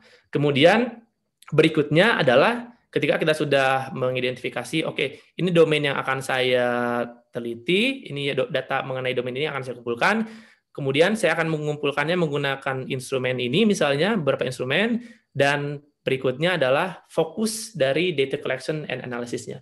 Fokus dari pengumpulan datanya itu apa? Nah, kita harus mendefinisikan di awal. Misal di sini, eh, contoh saja saya eh, untuk genetic domain, untuk ontogenetic domain, misal saya menggunakan pre-observation interview dan dan di sini fokusnya adalah ketika saya menggunakan observation pre-observation interview ini fokus saya adalah saya ingin melihat uh, the teacher's teaching experience, pengalaman mengajar gurunya seperti apa, pengalaman belajar guru tersebut seperti apa, kemudian personal backgroundnya seperti seperti apa, kemudian uh, ada juga domain lainnya yaitu yang yang mungkin ini in, in, bisa intersect antara microgenetic domain dan atau genetic domain. Saya meneliti juga mengenai current ideological beliefs-nya apa, kemudian past ideological beliefs-nya apa, originnya atau asal muasalnya dari mana dan perceived factors-nya, faktor-faktor yang uh, mereka anggap mempengaruhinya apa saja, itu menjadi fokus. Dan sebagainya dan sebagainya. Tentu saja ini tidak tidak sebenarnya ini banyak. Ini tidak hanya misal di sini misal di sini tidak hanya ketika saya melakukan classroom observation yang fokusnya adalah microgenetic data itu tentu saja yang saya teliti tidak hanya teacher student interaction ada banyak lagi, tapi saya tidak bisa tidak tampilkan semua ya untuk untuk tujuan ini. Uh, ini saya tulis etc etc saja. Sebenarnya ini masih panjang, masih banyak. Tapi intinya adalah uh, saya rasa ini sudah cukup untuk menggambarkan bagaimana genetic method ini bisa frame untuk frame uh, data untuk frame data collection. Intinya pertama tadi uh, identify the genetic domains-nya dulu, kemudian kita tentukan instrumen pengumpulan datanya, yang disesuaikan saja dengan tujuan penelitian masing-masing, tidak harus sama dengan apa yang saya terus di sini. Kemudian kita mendefinisikan fokusnya, fokus untuk uh, data collection analisisnya itu apa. Kemudian, nah berikutnya adalah tentang ini bagaimana saya linking the theory to methodology, terutama data analysis. Untuk analisa datanya itu karena saya sebenarnya lebih fokus ke bagaimana pengaruh ideologinya tadi ke objektif yang kedua ya. Bagaimana pengaruh ideologi guru itu di kelas, jadi uh, dan saya melihat uh, perkembangannya atau objektif, objektif yang pertama itu sebagai konteksnya. Jadi begini cara saya menganalisa data. Pertama, uh, oke, okay, analisanya terdiri dari tiga level. Analisanya terdiri dari tiga level. Pertama itu level satu adalah genetic domain analysis. Di sini saya pisahkan dulu dari masing-masing guru itu kan ada empat guru waktu itu misal jadi dari satu guru itu dari tiap-tiap guru saya pisahkan dulu eh, mana satukan dulu ya, dipisahkan sekaligus di kan sebenarnya datanya kan berceceran. Misal ada genetik domain, ada atau genetik domain yang di, yang didapat dari interview, ada yang didapat dari uh, misal observasi dan sebagainya. Nah itu saya satukan dulu, saya saya uh, satu-satukan dulu, pisah-pisahkan sekaligus satu-satukan dulu. Jadi nanti ada microgenetic data ngumpul sendiri, atau genetic data yes ngumpul semua di situ, cultural historic data ngumpul semua di situ. Setelah seperti ini, yang berikutnya saya lakukan adalah saya mulai melakukan analisa activity system analysis, analisa sistem aktivitas masing-masing guru tersebut. Jadi yang pertama, misal ada tiga, misal ada tiga pembelajaran yang saya teliti, saya masuk ke pembelajaran pertama dulu. Di pembelajaran pertama itu, saya mulai lihat di situ eh, dari dari microgenetic data yang ada. Nah, untuk microgenetic datanya itu nanti di pertemuan pertama saya pisah-pisahkan lagi, saya code lagi eh, menjadi beberapa beberapa beberapa bagian ya. Jadi istilahnya kalau kita menggunakan istilah coding and categorization mungkin yang atas ini sebenarnya lebih kategorisasinya tuh ini gitu. Jadi pertama datanya dikategorisasikan menjadi microgenetic data atau genetic dan cultural historic data dan setelah dikategorisasikan seperti ini, yang microgenetic data kemudian di coding atau coded menggunakan elemen sistem aktivitas. Jadi nanti saya lihat waktu itu saya lihat data mana yang yang termasuk dalam subjek, data mana yang itu termasuk dalam tools, yang mana yang objek, division of labor, community, rules dan sebagainya. Jadi seperti itu. Oh ini misal subjeknya, oh ini toolsnya, oh ini sebagainya. Seperti itu. Dan setelah melakukan analisa di masing-masing lesson atau di masing-masing pertemuan, saya melakukan eh, misal katakanlah lesson 1 dulu, lesson 2 dan lesson 3 sudah selesai semuanya. Dan kemudian saya lihat secara keseluruhan. Nah, itu yang saya lakukan adalah across lesson analysis. Saya melihat bagaimana di secara keseluruhan dari lesson pertama sampai lesson ketiga itu apa saja eh, elemen-elemennya. Dan setelah itu saya juga melihat barangkali ada tension di situ, barangkali ada contradiction di situ. Misal contradiction antara rules dengan subjek, apakah ada contradiction antara rules dengan tools dan sebagainya. Di situ nanti kan akan terlihat bagaimana bagaimana uh, aktivitasnya itu berubah dari dari awal sampai akhir, bagaimana komponen-komponennya berubah, bagaimana uh, di, pokoknya dinamikanya akan kelihatan nanti intinya dinamikanya akan kelihatan. Dan setelah menganalisa tiap-tiap guru, misal guru A sudah selesai, berikutnya guru B, guru C dan guru D, akhirnya semua sudah dianalisa, ini level 3.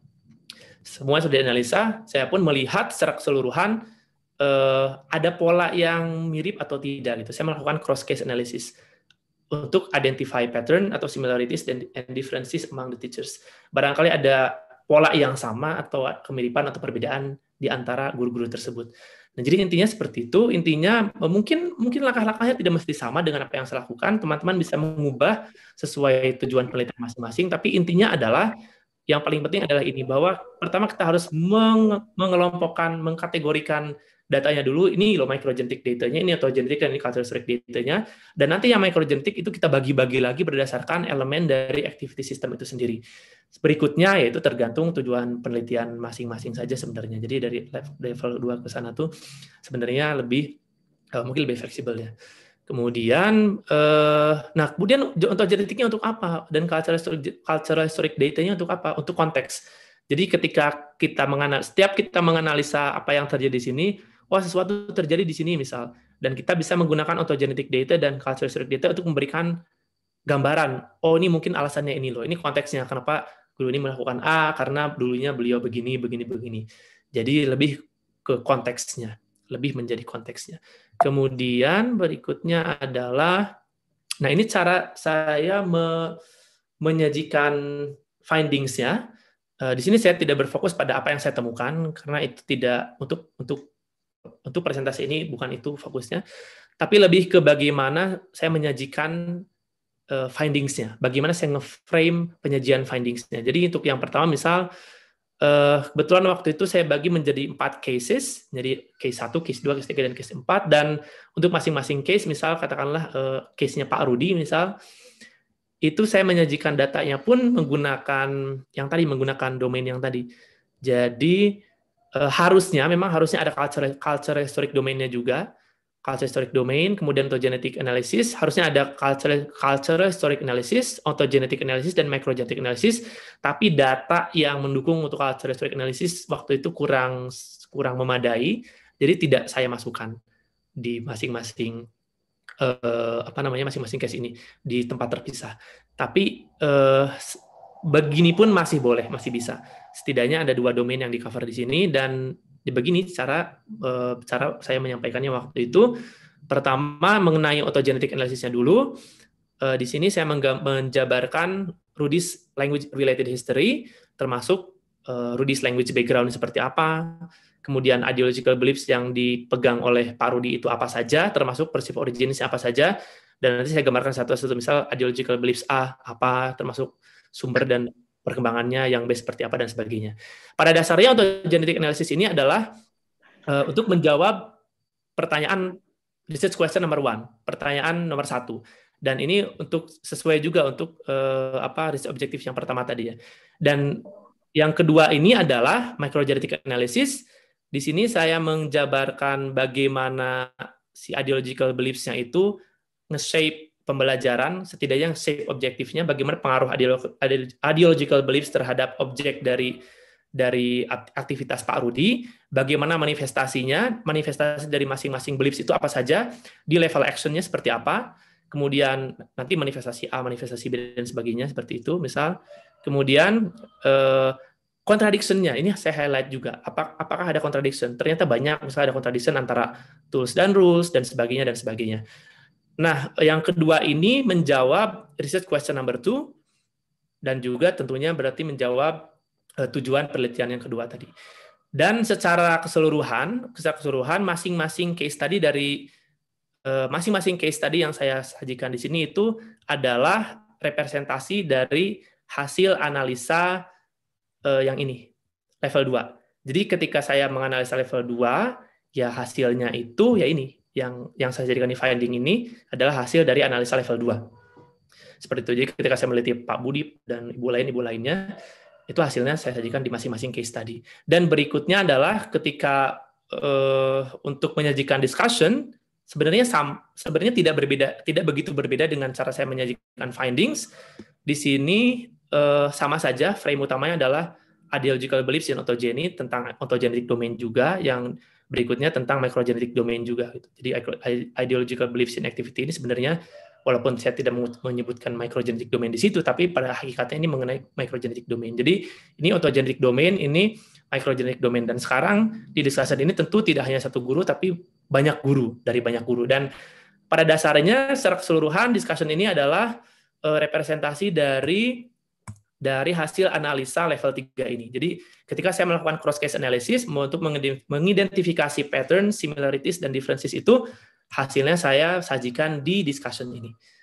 Jadi kurang lebih seperti itu. Kemudian berikutnya adalah uh, conclusionnya. Uh, the conclusion to today's presentation is that a theory as a school of thought. Jadi uh, saya menginvite teman-teman semuanya, rekan-rekan semuanya untuk melihat teori itu sebagai school of thought atau sebagai intellectual tradition dan dalam konteks penelitian sebagai blueprint yang inform penelitian dari awal sampai akhirnya sampai akhir. Jadi tidak hanya uh, kan ada beberapa yang uh, apa misal di apa beberapa artikel yang saya lihat ada masih ada yang mengklaim menggunakan teori A tapi ternyata uh, metodenya berbeda. Nanti findingsnya menyajikannya berbeda lagi gitu. Jadi mengklaim menggunakan teori A tapi ter, tapi pada dasarnya tidak itu hanya disebutkan di teorinya saja hanya disebutkan di literaturnya saja tapi tidak melihat teori itu sebagai blueprint uh, sebenarnya kita bisa melihat teori itu sebagai blueprint dan nanti tentunya itu akan sangat berpengaruh pada nuansa penelitian kita sendiri. Kemudian berikutnya adalah sense of coherence between theory and the issue under investigation. Tentu saja harus ada coherence antara teori dengan isu yang kita kita angkat, juga dengan research purpose-nya atau research objectives-nya, dan juga tentu saja dengan metodologi yang mencakup tadi itu research approach, uh, philosophical paradigm, data collection, data analysis, dan tentu saja antara teori dengan dengan uh, presentasi dari finding dan discussion-nya itu. Discussion mungkin mungkin uh, kalau perlu silahkan, kalau tidak ya mungkin tidak apa-apa. Tapi intinya harus ada coherence antara teori dengan penelitian kita secara uh, ini referensi yang saya gunakan ada banyak ada cukup banyak, tidak banyak-banyak. Semoga ini bisa menjadi referensi tambahan untuk teman-teman semuanya nanti jika ingin mendalami sociocultural theory dan activity theory. Mungkin itu yang dapat saya sampaikan uh, untuk presentasi hari ini. Barangkali ada yang ingin teman-teman tanyakan, silahkan.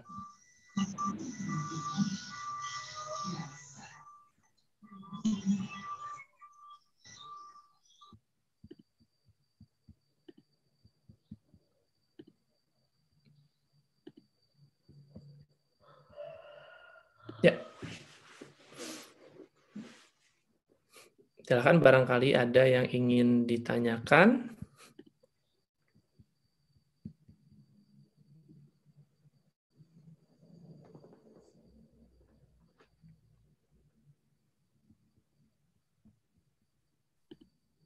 Silakan Bapak Ibu, ada yang mau dipertanyakan untuk termin satu atau kita nggak usah buka termin ya, langsung tanya jawab saja. Ya, silahkan, boleh, boleh. Sepertinya sudah paham semua nih Pak Dery. semoga, semoga. banyak. Jangan-jangan saya di sini yang nggak paham sendiri. Bulan Adiarti. Ibu Wulan Adiarti, silahkan. Iya, uh, mohon maaf uh, Pak Dery, saya boleh off camera ya, soalnya kadang-kadang eh. sinyalnya jadi terganggu. Iya Bu, boleh. Iya, saya uh, apa namanya amazed banget gitu sama presentasinya dan begitu detail tentang apa uh, teori yang memframe gitu ya uh, research study-nya gitu. Dan yang ingin saya tanyakan um, saat ini kan di analisa teori kualitatif itu banyak uh, apa namanya aplikasi-aplikasi itu mas yang untuk uh, coding misalkan yeah. kayak pakai NVivo atau Atlas.t gitu kan. Nah, di di researchnya Mas Dery sendiri gitu um, apakah uh, apa menggunakan bantuan itu atau uh, memang secara natural aja nih yang ses, uh, sesuai dengan uh, framework uh, ininya apa teorinya gitu. Dan alasannya kenapa sih Mas gitu? Milihnya seperti itu. Makasih ya. Ya, Terima kasih atas pertanyaannya Bulan. Uh, iya, waktu saya menganalisa data itu, saya menggunakan NVivo, tapi sebenarnya tidak untuk semua guru ya. Jadi ada alasannya tentunya kenapa tidak untuk semua guru. Jadi di awal saya menggunakan NVivo, untuk parodi ini sebenarnya saya menggunakan NVivo. Dan ketika menggunakan NVivo itu, kan ada codingnya ya, seperti yang kita tahu. Dan codingnya itu ya ini, yang saya gunakan itu ini. Jadi misal uh, codingnya itu ya saya tentukan di situ, tentukan di awal dulu subjek, misal tools and science, kemudian objek. Nanti saya cari data-data yang kira-kira masuk ke subjek yang mana, yang masuk ke tools yang mana seperti itu. Kurang lebih seperti itu. Jadi uh, memang ter terkesan terkesan sederhana. Maksudnya sederhana itu karena kesannya itu misal gini, kok ketika coding itu cuma misal oh, kok analisa itu misal cuma kita memisahkan mana microgenetic data, mana, mana autogenetic data, mana cultural historic data, itu tuh kategorisasinya ya. Pertama kategorisasi dulu, kemudian coding. Yang saya lakukan itu mungkin kebalik ya, tapi begitulah adanya. Kemudian uh, apa karena ini kan umum ya, ini umum, ini bersifat umum. Jadi bagaimanapun ini harus dilakukan dan tidak bisa diubah. Dan ini kan lebih spesifik lagi gitu. Jadi codingnya codingnya itu jatuhnya di sini. Nah codingnya itu ini gitu. Cuma pada akhirnya uh, menggunakan NVivo itu pengalaman saya adalah ternyata ada beberapa hal yang sulit untuk saya lakukan gitu. Terutama ketika saya ingin melihat contradiction-nya. Jadi saya agak kerepotan sendiri gitu. Mungkin saya ngerasa overwhelmed waktu itu dengan dengan uh, tools yang saya gunakan itu gitu. Jadi pada akhirnya saya me menggunakan NVivo plus dibantu dengan analisa manual. Jadi saya untuk beberapa yang lebih mudah, misal untuk coding ininya, mana subjek, mana rules, mana community, itu NVivo. Tapi ketika datanya menjadi sangat banyak, saya jadi ngerasa overwhelmed sendiri. Saya menggunakan uh, bantuan manual juga gitu akhirnya. Jadi ketika saya analisa itu lebih cepat misal ngelihat jadi nggak usah klik-klik di satu layar itu aja ya jadi nanti kita yang lihat layar layarnya ada dua misalnya dua layar yang satu layar uh, untuk NVivo-nya yang satu layar data mentahnya misal atau ada teori lagi yang satu tulisan tulisan sendiri di buku sendiri misal uh, ada tulisan-tulisan lagi gitu catatan lain lagi jadi intinya kombinasi sih intinya kombinasi seperti itu iya oke okay, mas betul sekali karena ada yang nggak bisa di cover juga ya ya. di di apa namanya aplikasi itu gitu. Makasih Mas Dery. Ya sama-sama.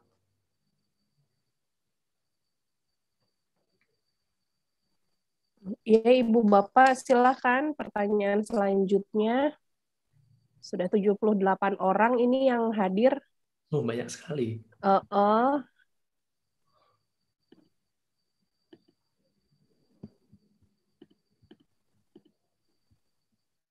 Ayo, mumpung ada Pak Dery nih. Ini tuh kegiatan untuk mahasiswa pasca sarjana ya Bu ya atau bagaimana?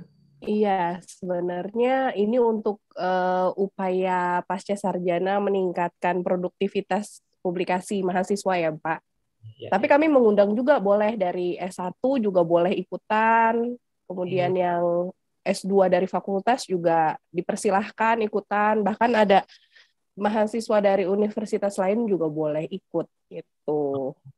Oke, oke. Ya, menarik, menarik.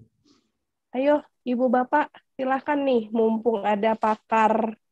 Ya, silahkan itu ada Bu Aziza. Ya, Ibu Aziza, silahkan Ibu Aziza. Baik, terima kasih uh, Pak Dery atas pemaparannya. Uh, menarik sekali uh, apa terkait dengan sosiokultural teori ini gitu ya dan uh, saya benar-benar takjub ya karena ini yang saya pahami selama ini sosiokultural teori itu tidak ada turunannya gitu tapi tadi Bapak jelaskan bahwa ternyata banyak sekali gitu ya uh, turunan dari atau penjelasan dari uh, jenis-jenis uh, apa ya riset yang dikembangkan kalau kita basicnya adalah sosial kultural teori ini gitu. Nah, tadi Pak Dery menyampaikan sorry ada sos di dalam oh sorry, Vygotsky teori ya. Tadi ada sosiokultural teori, kemudian ada juga yang Bapak jelaskan tadi tentang activity teori. Nah, apakah kalau tadi saya lihat itu kan dari penjelasan Bapak, kita uh, ada dua pertanyaan penelitian yang kemudian dijawab dengan dua jenis uh, apa namanya? dua jenis uh, teori ya, dua jenis teori gitu kan.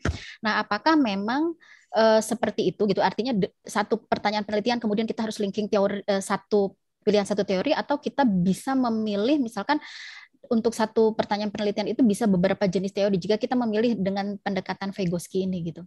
Mohon pencerahannya Pak Diri, terima kasih. Ya, makasih banyak Bu pertanyaannya. Uh, menarik sekali pertanyaannya. Sebenarnya di awal uh, kan di saya di sana saya sering ngobrol-ngobrol sama supervisor itu lumayan sengit ya kadang-kadang. Apakah boleh begini apa kalau begitu seperti itu intinya pada dasarnya mungkin andai saya tidak perlu menggunakan dua teori walaupun itu sama-sama dari Vygotskian. Katakanlah misal, oke, okay, saya mengadopsi Vygotskian. Saya adalah Vygotskian. Saya terutama di sociocultural teorinya. Bisa saja saya hanya menggunakan sociocultural theory tanpa menggunakan teori yang lainnya lagi, yang yang lainnya yang ini yang saya maksud. Bisa saja, tapi ternyata e, karena tujuan penelitiannya sebenarnya lebih karena tujuan penelitiannya. Karena tujuan penelitian saya memerlukan saya untuk melihat e, fenomena tersebut dari teori lain. Karena saya menganggap begini, begini mungkin e, jawabannya adalah mana ya tadi ya. Kita lihat dulu ke sini. Ketika saya punya dua pertanyaan, dua riset objektif, dua riset objektif. Yang pertama untuk mengidentifikasi ideological beliefs yang dipegang oleh guru-guru, kemudian faktor-faktornya dari mana saja, perkembangan seperti apa. Pertama itu. Kemudian yang kedua saya ingin melihat bagaimana pengaruhnya di dalam kelas. Seperti itu. Nah, jadi uh, karena tujuannya seperti ini, sebenarnya karena tujuannya seperti ini, jadi saya rasa menggunakan satu itu, kami rasa menggunakan satu itu waktu itu tidak cukup katakanlah menggunakan sociocultural theory saja, mungkin hanya akan membantu saya menjawab yang pertama, tapi tidak yang kedua. Seperti itu. Hanya menggunakan activity theory saja mungkin membantu saya untuk yang kedua, tapi tidak begitu adequate, tidak begitu sufficient buat yang pertama. Akhirnya, oke okay, kita bisa gabung, bisa kita gabungkan. Ada gak contohnya yang digabungkan? Ada katanya. Jadi ya udah kalau ya ini bolak-balik, benar mandir, telanjang.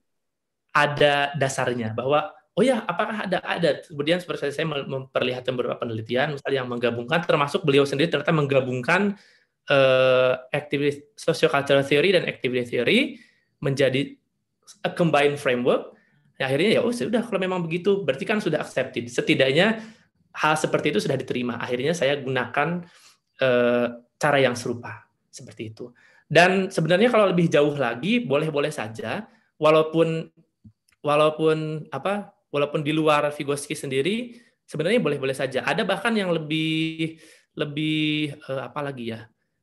Bukan lebih ekstrim lagi, tapi lebih jauh lagi misal menggabungkan antara Vygotsky dengan Bahtin misal. Kayak Worst, Worst itu sering menggabungkan beberapa kali menggabungkan Vygotsky dengan Bahtin.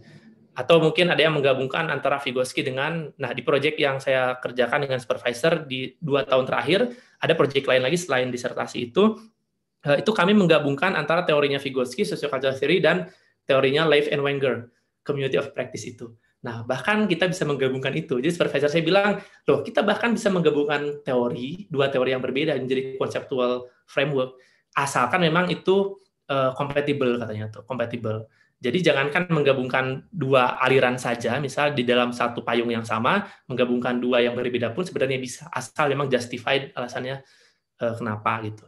Jadi saya rasa itu ya Bu. E, pertama karena tujuan penelitiannya e, kalau tidak perlu mungkin tidak akan saya tidak akan saya gabungkan dan saya tidak akan menggabung-gabungkan. Tapi ternyata setelah diskusi yang panjang e, kami rasa perlu, akhirnya kami gabungkan dan alasan menggabungkannya pun karena sudah ada penelitian sebelumnya yang melakukan itu, jadi kami merasa justified untuk melakukan itu. Ya, baik. Terima kasih Pak Dery. Artinya, eh, konfirmasi ulang, artinya kompatibel itu sudah didukung oleh penelitian terdahulu gitu ya Pak ya. ya. Jadi ya, ada ya. bukti gitu ya, gitu ya. Jadi ya. akhirnya kita bisa untuk merujuk kepada itu gitu ya. Jadi kan enak ya Bu ya, oh, ini ada buktinya. Ya, ya betul. ya baik, terima kasih Pak. Ya, sama-sama Bu.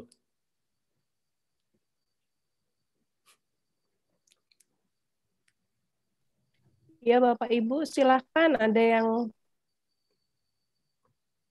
selanjutnya bertanya.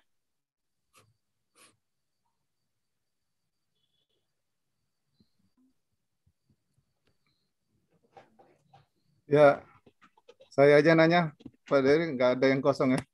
Oke, ya, silahkan Pak Prima. Ya, makasih Mbak Nancy. Mbak Nancy ya. Saya Yusi Bapak, bukan Nancy. Oh, ya, maaf, maaf. Ya. Ini saya nanya sedikit aja. Ini saya juga ini baru aja apa menyelesaikan kerumitan kualitatif ini, Pak Dere. Jadi kreativitas kita uh, diuji benar, Pak. Uh, no, Pak. Uh, saya meneliti uh, suatu aktiviti di dalam pabrik ya, aktiviti kerja. Saya yeah. lebih ke manajemen, bagaimana dia learning, bagaimana dia mengembangkan apa kompetensi mereka. Terus ini uh, uh, pengalaman ini apa bias waktu saya ini kualitatif nggak bisa kalau kualitatif murni. Artinya saya perlu survei. Karena pekerja itu banyak kan, yeah. sampai ratusan, dua ratusan. Nggak mungkin saya pakai apa namanya uh, inter, in-depth interview kan. in-depth interview saya bagi itu Pak dari itu kreativitas saja. Saya yeah. bagi. Nah, untuk yang VP VP manajernya saya Hmm. pakai inter- in-depth interview. Tapi untuk yang staffnya yang mempraktikkan langsung, saya pa- pakai survei aja. Waktu itu Prof Bowo bilang, Anda tidak boleh mix katanya. Walaupun Anda mengeluarkan kuesioner, itu hanya pelengkap data untuk mendukung percepatan. Maksud itu. Sehingga saya saya bagi kuesioner juga survei kuesioner dengan pertanyaan skala Likert 5 Iya. dan, dan itu justru menjadi temuan saya dari yang dari dari yang staff yang banyak itu yang 200 itu justru yang jadi apa namanya eh, jurnal saya dari situ saya ambil. Oh, Jadi iya. saya nyimpen lagi nyimpen lagi eh, untuk model jurnal yang yang benar-benar in-depth interview itu Pak. Itu yang kreativitas kita. Dan kerumitan itu ada di waktu di bab 4. Pak. Ini pengalaman saya di Ya. menyusun menyusun di mana antara antara analisis ya, analisis data dengan eh, perpaduan antara teori yang harus kita padukan dengan apa yang kita amati itu. Ya. Waktu kita menganalisis data kan masuk dari survei-survei itu dan jadi bentuk baru. Jadi jadi model baru eh, anu kualitas saya tuh nggak tahu pendekatan apa. Saya bilang ngomongin pendekatan aja lah. Pendekatan yang campur-campur. Gimana itu pengalaman Pak Dery? Mungkin mixed method barangkali Pak ya atau atau bukan? enggak juga. Prabowo bilang itu bukan mixed method karena Oh. an- data analisanya cuma dua. Anu, anu apa analisis eh, data statistiknya itu hanya dua. Ada, ada reliabilitas dengan ini aja dengan apa namanya eh, validitas. Jadi nggak bisa Hmm. dikatakan mix karena yang hanya uji validitasnya aja bahwa data itu real memang data orang yang ngerti, orang yang aktif di situ validitasnya kan ya. Nah, reliabilitasnya itu ya dua itu aja belum dikatakan mix Ya, tapi teori justru di- yang Bapak gunakan apa Pak? kenapa Teori yang Bapak gunakan apa Pak? kalau Teorinya. Kalau saya pendekatan ini teori maksudnya teori Teori- ininya Theoretical Eh, apa topiknya Eh, teorinya, Topiknya. teorinya. Misal, apakah Bapak ibaratnya mazhabnya, apakah misal Bapak mazhabnya Vygotsky kah, apakah Bakhtin kah, atau Borju atau bagaimana? Iya kalau itu yang yang yang bingung saya itu kan mazhabnya ke mana waktu saya buka-buka metode penelitian ya ya di- eh, mazhabnya ya pembimbing saya sih sebenarnya yang ngarahin saya kan Iya, jadi iya. nggak berbentuk pendekatannya karena Prof Wibowo aja dengan ya begini begini sehingga aduh saya bilang tuh gimana apa jadi karangan indah saya bilang tuh kan Iya, iya. dan justru setelah selesai eager untuk anu untuk an- untuk memulai apa ini pendekatan yang harus di diformali formalisasi lagi misalnya kan ya Ya. Yang, yang jelas sudah ada hadir dan sudah ada in anu novelty yang herannya saya nemukan novelty eh, karena saya kan eh, knowledge management Ya.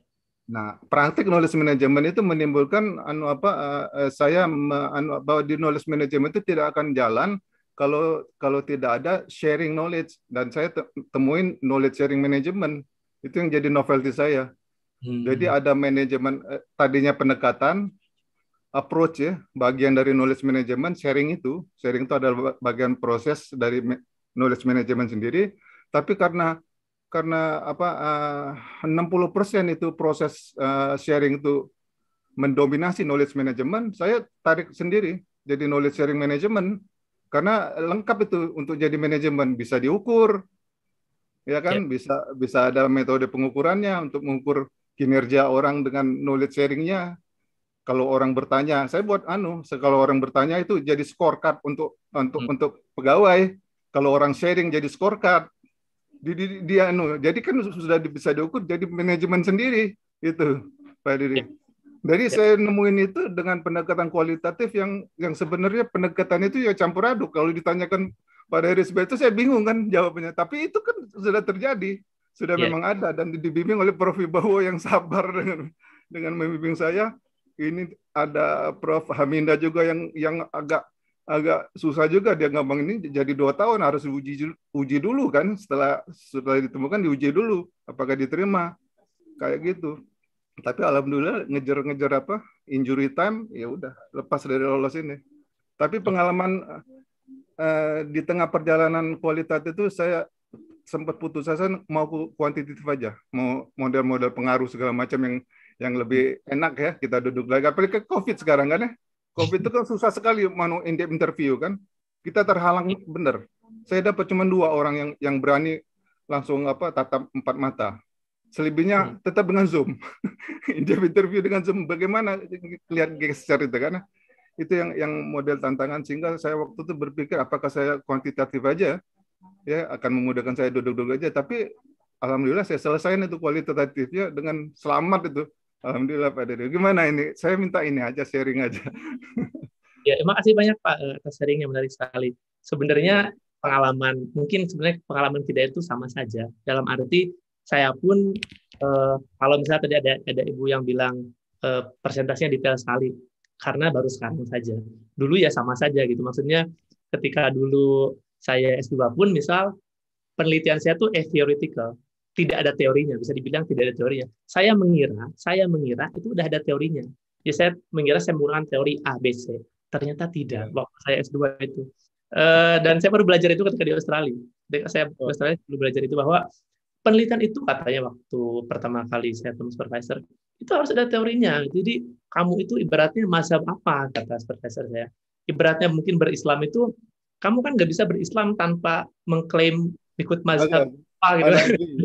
Hamba iya juga ya itu kan iya juga ya kan saya sampai bisa mana mungkin saya mengklaim saya Islam tanpa mengikuti salah satu mazhab. Akhirnya sama saja di penelitian pun ternyata bahwa ada ada imam imam besarnya, ada misal ada Vygotsky, ada apa ada apa yang masing-masing punya yang masing-masing sudah menyimpan uh, bata menyimpan bata. Ibaratnya mungkin ketika kita membangun itu katanya menyimpan bata ini batanya siapa ini batanya siapa ditumpuk terus yang lain numpuk di atasnya. Nah kamu mau numpuk di batanya siapa? Itu kamu menyimpan batamu itu di atas bata siapa? Oh gitu ya baru waktu itu saya terbuka waktu itu. Oh gitu ya. Jadi iya jadi kamu harus jelas pakai teori A. Kalau pakai teori A nanti hasilnya kayak nanti desainnya seperti ini. Teori B kayak gini teori C kayak gini. Mungkin bisa dikombin juga jika kompatibel kalau rootnya sama mungkin bisa kita combine dan sebagainya. Jadi pengalaman Bapak itu tadi sebenarnya mengingatkan saya pada penelitian-penelitian saya yang dulu yang sama saja Pak. Kaburnya iya. gitu ya.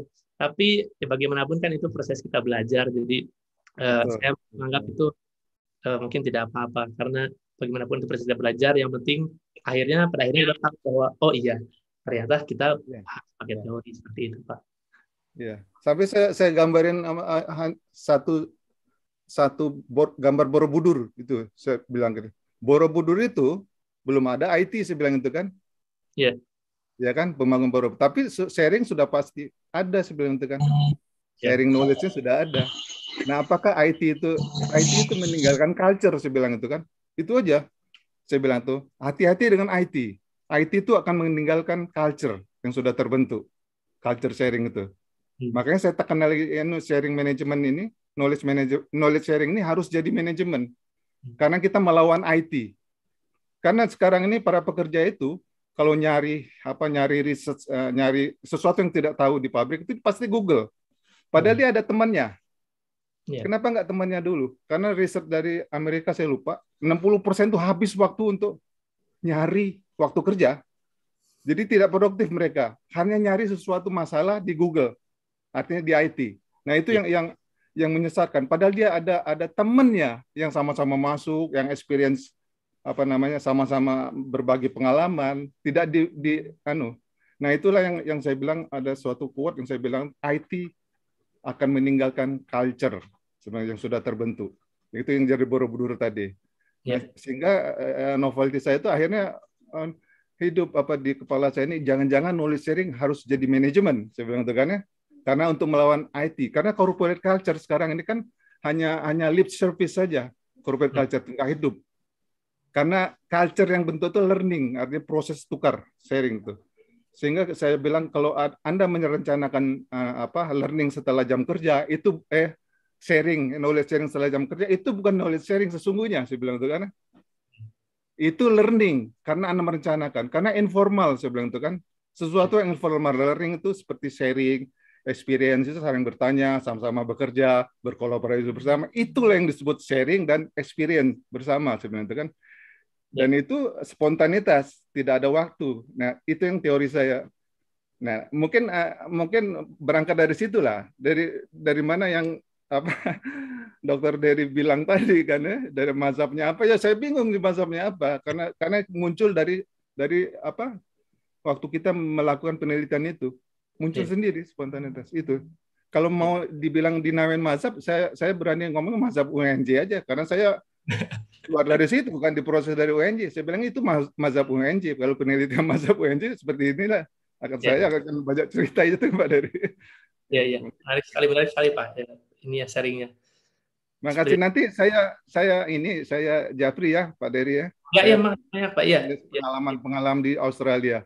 Iya, Karena iya. saya saya 2016 tuh ketemu teman-teman dari UNJ juga waktu saya ikut leadership di sana di Iya. Queensland dengan di Sydney itu. Ketemu dengan teman-teman waktu sholat Jumat kan. Iya, iya. Dan itu. Saya lupa namanya siapa itu. Asik sekali mereka lagi dikirim oleh UNJ untuk anu apa sekolah di sana. Saya bilang itu saya lagi nyusun ini.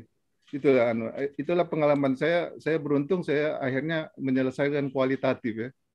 Untung saya nggak terjebak apa nggak nggak tertarik dengan kuantitatif sehingga saya masuk dalam ini dalam apa dalam suatu yang yang karena kebenaran saya itu kan memang praktisi kan ya saya itu VP SDM VP sumber daya manusia di Pusri jadi saya tuh tinggal masuk lagi menggali lagi apa apa nama-nama pengalaman saya selama ini. Saya tuh nggak tahu nama-nama istilah sebelum saya kuliah kan ya. Ya. Rupanya pendekatan saya itu oh ini namanya. Seperti itu. saya sudah melakukan ini suatu yang namanya. Sehingga sehingga itu yang yang apa yang tinggal keberanian dari perusahaan aja untuk menerapkan yang temuan kita. Ya. Berani nggak orang itu kan? Ya. Kalau kalau sayang kalau Indonesia ini berani menerapkan apa hasil dari riset kualitatif bahwa cepat maju Indonesia nih. Sebenarnya itu Pak, eh, activist theory Engstrom ini dia banyak eh, tentang apa yang terjadi di real world settings. Jadi banyak penelitiannya itu yang lebih tentang eh, di tempat kerja, workplace research seperti itu. Jadi mungkin saya rasa penelitian Bapak itu sebenarnya cocok kalau pakai Engstrom ini sebenarnya mungkin nanti bisa cocok Pak kalau ini Pak, kalau pakai ini mungkin nanti ada expensive learning di situ gitu, ada macam-macam lah di situ. Mungkin nanti kita bisa bahas lebih lanjut. Ya, itu itu yang saya maksud. Nanti saya hubungin Pak Dery ya. Kalau ada emailnya, tolong diketik di chat aja. Email aja Pak. Kalau HP Ya, kan ya. terbuka. Email aja dulu. Ya Pak, baik. Nah, Ya. Makasih banyak. Nah, sudah Pak, sudah sharing Pak, saya belajar dari Bapak. Iya, saya ber- mesti harus belajar dengan kualitatif yang lain. Seperti Pak Suhud juga, itu Pak Suhud bagus benar waktu terakhir saya sudah putus asa untuk memberi subjudul dari bab 4 ya. Subjudul itu adalah yang cantik katanya. Itu yang saya ingat benar. Pak Suhud itu ngomong kata-kata yang cantik, yang artinya yang seksi katanya kan. Karena subjudul di bab 4 itulah yang apa benar-benar misalnya misalnya leadership gayanya Pak Ahmad ya, itu kan itu jadikan subjudul untuk kualitatif. Jadi di situlah penekanan di ju- subjudul itu itu Pak anu, apa namanya Prof yang bilang ke saya karena dia kualitatif juga kan. Jadi saya tanya terus kan dia di Australia juga kan. saya bilang gimana cara orang Australia meriset apa melakukan riset kualitatif dan dan ya pertama bab 4 tuh kuncinya harus seksi katanya. judulnya judulnya seksi itu itu hebat itu. Jadi di situlah anu kekuatan kita katanya subjudul bab 4 itu yang seksi katanya. Sudah aneh. Jadi keluar dari dari dari interviewer interviewee kita itu sebenarnya judul itu diberikan interviewee kita sebenarnya bukan kita gitu Pak. Itu asik itu itu itu dari yang saya dapat dari Prof Suhud sebenarnya gitu. Makasih Pak Dery. Ya, sama-sama Pak. Sharingnya. Iya. Silakan mau bertanya selanjutnya. Iya, Mbak. Iya, silakan Pak Narto. Iya. Narto. Ya, ya Pak. Ya, silakan Pak. Halo Pak Narto. Wah, Pak Narto. Ya, maaf, suara Putus-putus Pak. Saya pakai harus pakai HP kali ya. Ini saya pakai uh, komputer ini, pakai PC. Belum terdengar, Mbak? Terdengar kok. Terdengar, terdengar Pak. Dengar dari. Ayo, ini kualitas juga nih Pak Narto. Pak Narto, di mute Pak Narto. Iya, saya tadi kok di mute gitu. Iya, sekarang sudah terdengar, Mbak? Ya, putus-putus. Sudah, sudah. Sudah ya. Uh, ya, saya tadi tertarik uh, apakah ini aja pertanyaan saya singkat aja Pak dari ya. yang tadi kan Pak Prima nanyakan uh, ketika ditanyakan apa namanya uh, mazhab mazhab beliau itu mazhab apa gitu ya apakah yang dimaksud dengan Mas dari uh, Pak Dery ya mazhab itu yang ter, ter, tertuang di apa di pamparan di paparan ini ada mazhab Engelstorm ada mazhab Moll atau mazhab Bretz itu lah apa itu yang disebut dengan mazhab ya Pak Dery ya ya oke okay. Uh, makasih Pak pertanyaannya. Yeah. Jadi saya maksud dengan mazhab, melihat teori dengan mazhab itu adalah sebenarnya karena kita tahu bahwa di dunia ini ada beberapa tokoh, ada beberapa tokoh yang menjadi acuan, yang menjadi hmm. referensi dari beberapa peneliti bahkan peneliti dunia. Katakanlah di sana misal ada salah satunya misal Vygotsky, ada Borju misalnya, kemudian ada Bahtin untuk di di linguistik atau di bahasa dan sebagainya dan sebagainya. Misal eh, tentu akan beda nanti ketika saya meneliti walaupun yang saya teliti itu adalah katakanlah pembelajaran bahasa Inggris di kelas, misalnya pembelajaran bahasa Inggris di kelas, tapi ketika saya menggunakan teori Vygotsky dengan ketika saya menggunakan teorinya katakanlah Bourdieu itu nanti nuansanya akan berbeda. Karena karena eh, dasar pemikirannya kan yang dikembangkan mereka itu berbeda. Akhirnya kenapa saya sebutkan mazhab? Karena sudah menjadi kelompok-kelompok, sudah menjadi tradisi. Kita mengikuti tradisi Vygotsky misal, karena Vygotsky itu eh, katakanlah dia satu pemikiran yang besar, akhirnya banyak pengikutnya, dan pengikutnya mengembangkan teori-teori Vygotsky itu, akhirnya terbentuklah satu komunitas besar yang eh, melakukan penelitian dengan tradisi tertentu dengan tradisi tertentu, dengan cara-cara tertentu, dengan cara-cara yang bisa dibilang serupa. Oleh karenanya saya bilang mazhab. Begitupun misal ketika ada borju, borju pun sama, ada komunitasnya, ada kelompoknya, kemudian dari waktu-waktu penelitian dengan tradisi borju itu berkembang, perkembangannya macam-macam, nanti mungkin ada aliran ini, ada aliran itu, tapi konsep-konsep utamanya sama, prinsip-prinsip dasarnya sama, sehingga saya bisa mengatakan bahwa, oh ada mazhab lain, itu borju tadi. Dan nanti akan berbeda ketika saya meneliti menggunakan teori Vygotsky dan teorinya Bourdieu akan berbeda. Misal, ketika saya menggunakan Vygotsky, saya akan menggunakan konsep-konsep seperti ada yang tadi misal social origin of development, ada mediation by artifact, kemudian ada genetic method, kemudian ada activity theory dengan berbagai elemennya dengan berbagai prinsipnya, ada prinsip contradiction dan sebagainya. Yang nanti saya pun mengumpulkan data harus berdasarkan itu, menganalisa data berdasarkan itu, menyajikan data berdasarkan itu. Nah, itu akan berbeda ketika saya menggunakan katakanlah Bourdieu, di sana konsepnya lain-lain lagi, misal ada konsep field, mungkin saya melihat kelas itu bukan sebagai microgenetic domain, tapi saya melihat kelas sebagai field atau arena. Kemudian ada habitus juga. Mungkin saya melihat apa yang dilakukan guru itu teachers behaviors itu bukan dalam ranah genetic domain lagi, tapi dalam ranah habitus. Konsep-konsepnya akan lain nanti. Seperti itu yang saya maksud Pak. Jadi eh, ketika saya menggunakan Borju, nanti nuansanya akan berbeda lagi. Saya tidak akan mengatakan social origin of development, saya tidak akan menggunakan istilah medicine by artifact dan sebagainya. Ataupun misal ketika saya menggunakan Piaget, ketika saya menggambarkan perkembangan eh, kognisi, saya tidak akan mengatakan bahwa kognisi itu mediated by artifact, karena Piaget tidak ada di Piaget tidak ada konsep artefak. Mungkin saya akan mengucapkan konsep equilibrium dan sebagainya seperti itu, yang memang sesuai dengan tradisi-tradisinya Piaget. Nah, jadi sebenarnya yang saya maksud dengan mazhab itu, jadi eh, nanti ketika saya eh, setelah, setelah saya menyelesaikan penelitian, setelah saya mendapatkan hasilnya, saya bisa eh, dengan confident mengatakan bahwa ini loh hasil penelitian saya dan hasil penelitian saya ini ibaratnya bata, bata ini saya simpan di atas batanya Kim, misal Kim itu supervisor saya, di atas batanya cross juga, jadi sarannya nyambung ke Vygotsky. Misal dari saya ke Kim, eh, dari Kim misal ke cross, dari cross ke atasnya lagi, ke atasnya lagi ke Daniel misal sampai akhirnya ada Verosov di situ sampai ke Vygotsky.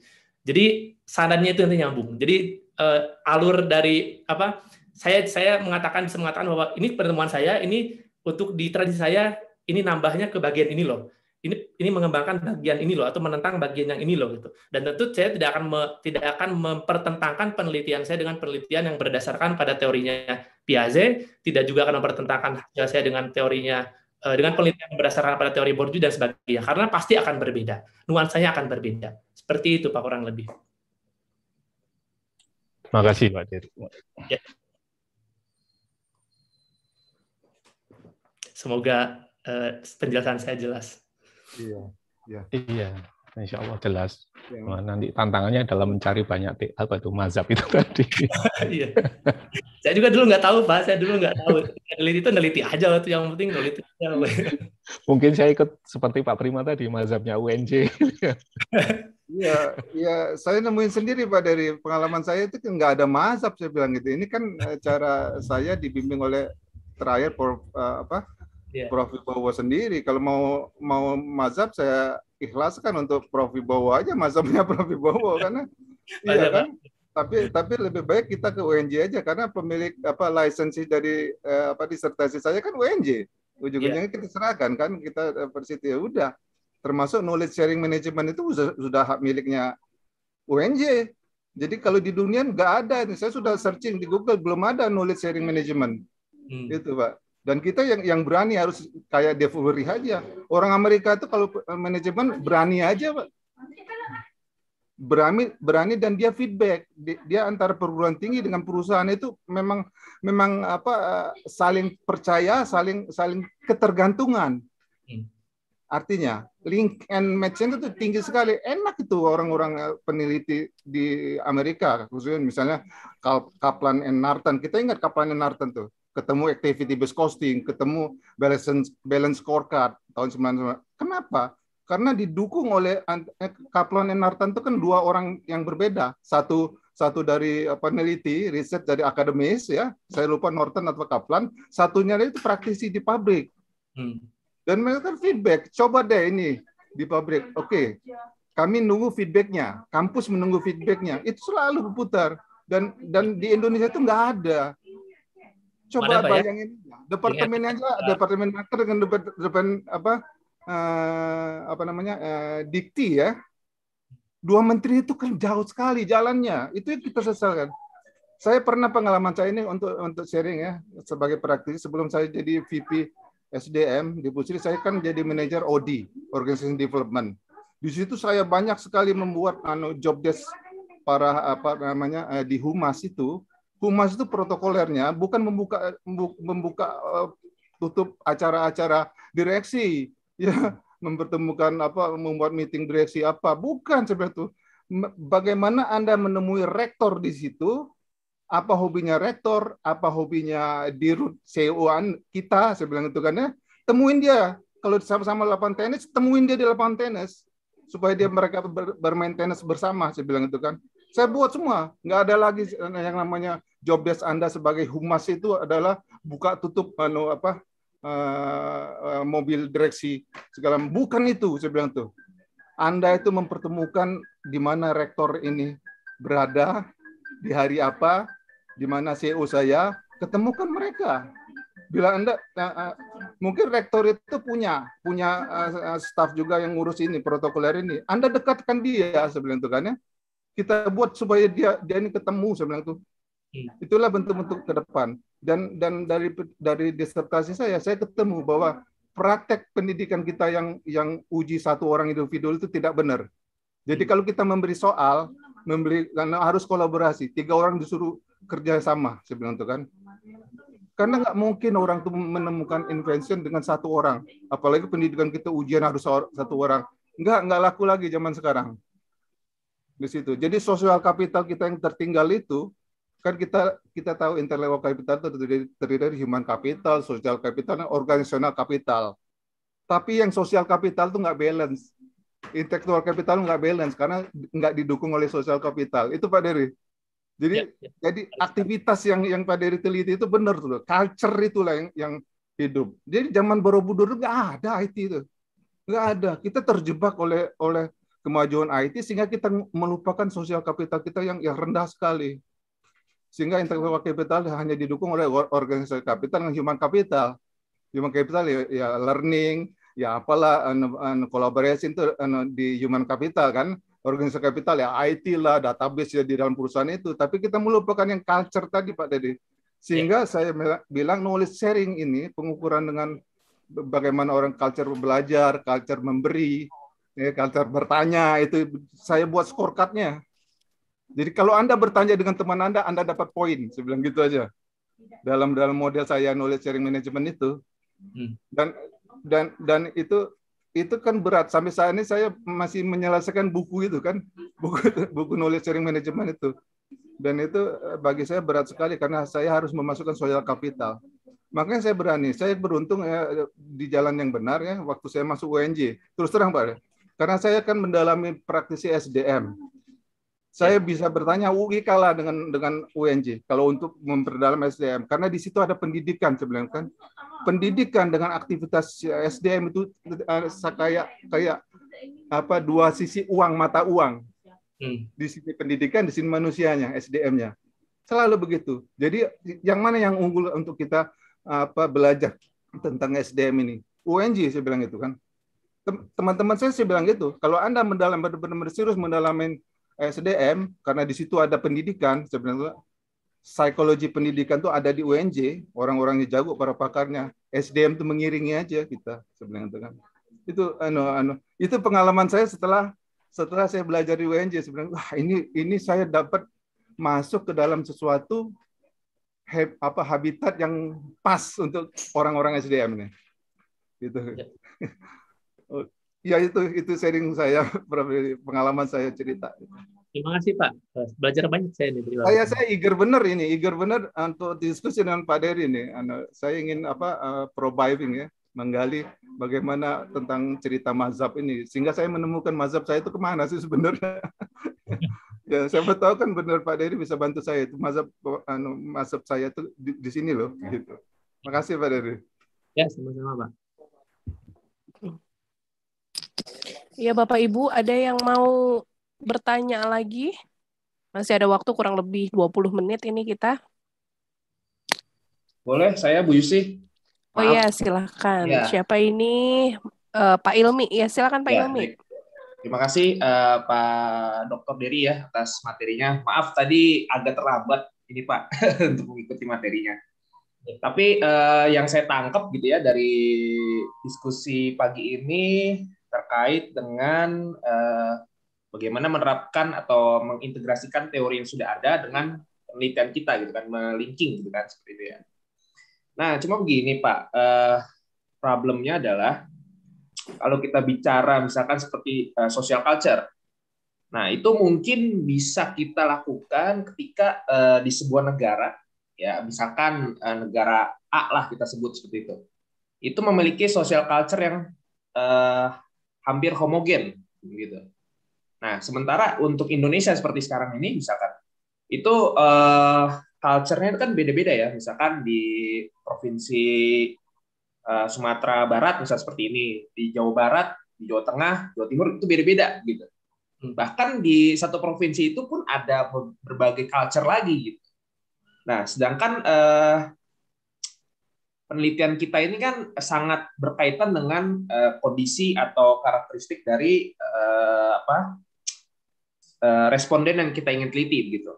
Nah, hmm. pertanyaan saya begini, apakah teori seperti tadi, misalkan Vygotsky, kemudian misalkan uh, kalau meneliti pendidikan itu kan banyak teorinya ya, teori belajarnya itu misalkan ada teori belajarnya uh, behavior, ya kan, Ivan, Ivan Pavlov misalkan, ada teori belajarnya, uh, pokoknya banyak gitu ada, ada beberapa. Nah, pertanyaan saya, apakah teori-teori tersebut itu kompatibel dengan uh, budaya atau culture yang ada di Indonesia? Ya karena budayanya sangat berbeda gitu. Bahkan di tiap daerah punya budaya sendiri punya culture belajar sendiri.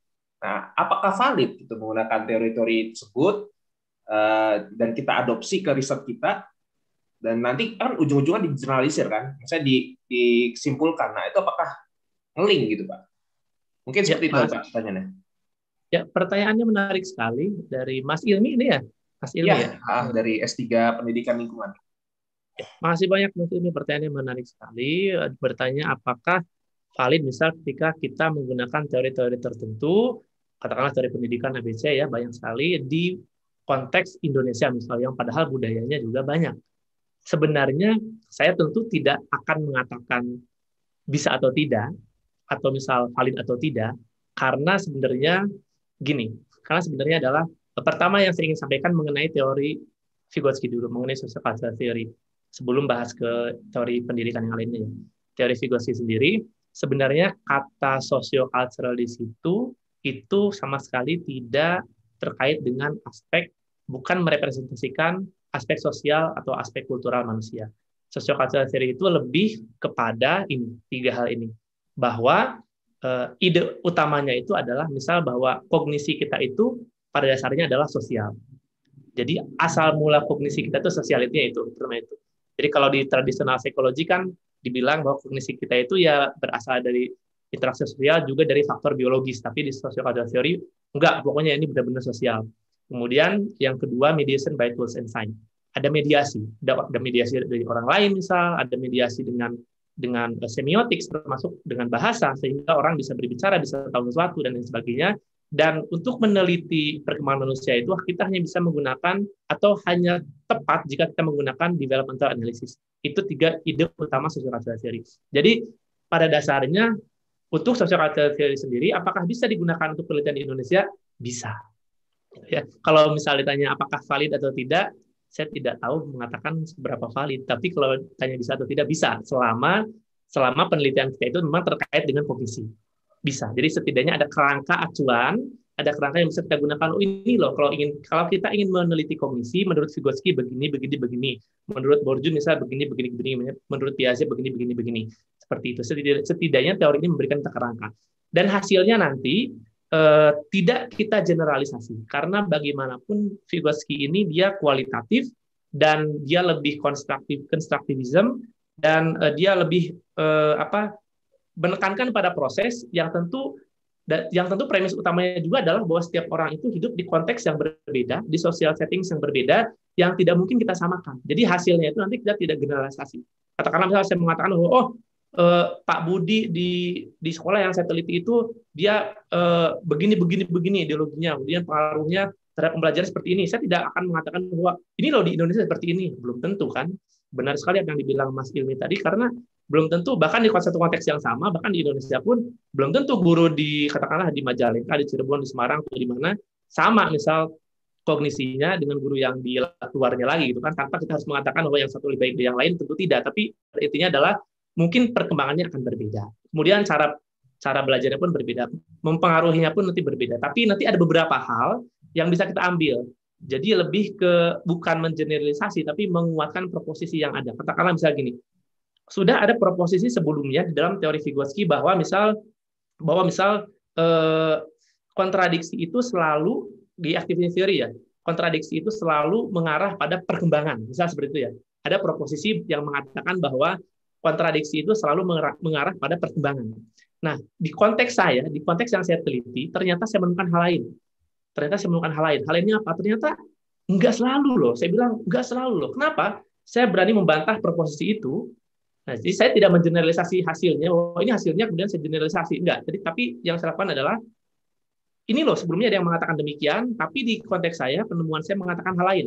Ternyata kontradiksi itu tidak selalu langsung mengarah pada perkembangan.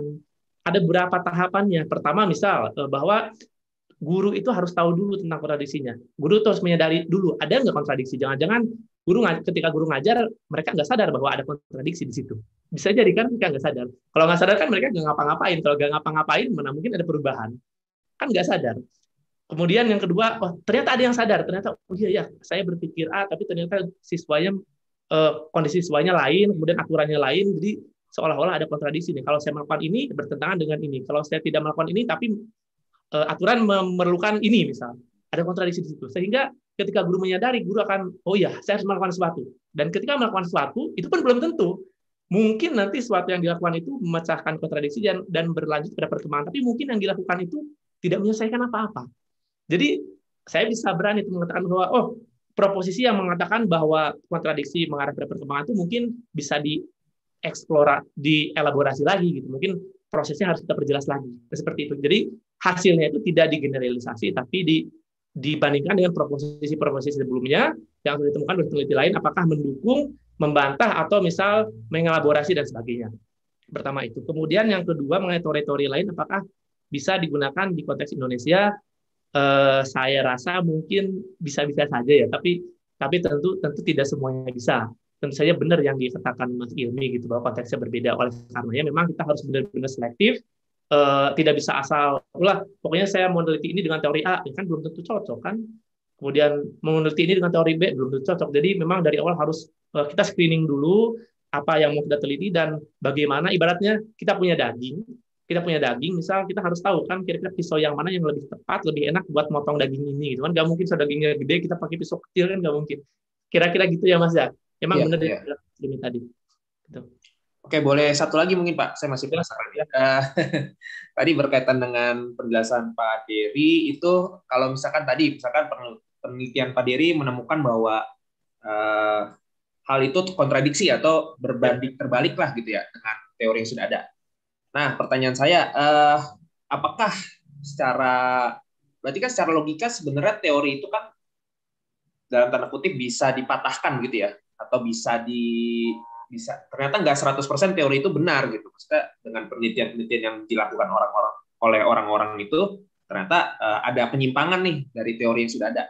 Nah, pertanyaan saya uh, pada titik apa gitu teori tersebut bisa dan kutip bisa kita perbarui atau bisa kita uh, bantah itu Pak segimana gitu. Misalkan kalau saya kan background saya kan ini Pak Dery kebetulan dari biologi ya S1 S2-nya. S3-nya lingkungan. Nah, uh, kalau di biologi itu kan ada teori misalkan teori tentang asal mula makhluk, makhluk hidup misalkan. Ya. Ada teori abiogenesis. Nah, kemudian orang melakukan penelitian nih, Louis Pasteur segala macam itu melakukan penelitian sehingga teori abiogenesis ini eh, yang makhluk hidup berasal dari benda mati ini bisa dibantah nih. Nah, sehingga sekarang terbukti bahwa teori yang benar itu yang diakui adalah teori biogenesis atau uh, makhluk uh, makhluk hidup berasal dari makhluk hidup sebelumnya. Ya. Nah, itu kan mereka dari hasil penelitian tuh, dari Louis ya. Pasteur segala macam. Nah, dia bisa membantah teori sebelumnya. Atau ya. yang paling ngetren sekarang misalkan teori uh, dulu kan orang berpandangan bahwa bumi itu misalkan datar, tetapi ternyata dengan perkembangan teknologi bisa dibuktikan ternyata bumi itu ternyata bulat gitu. Ya. Nah, itu bisa seperti itu. Nah, pertanyaan saya, pada titik apa penelitian kita itu bisa membantah atau bisa memperbarui teori yang sudah ada? Mungkin gitu.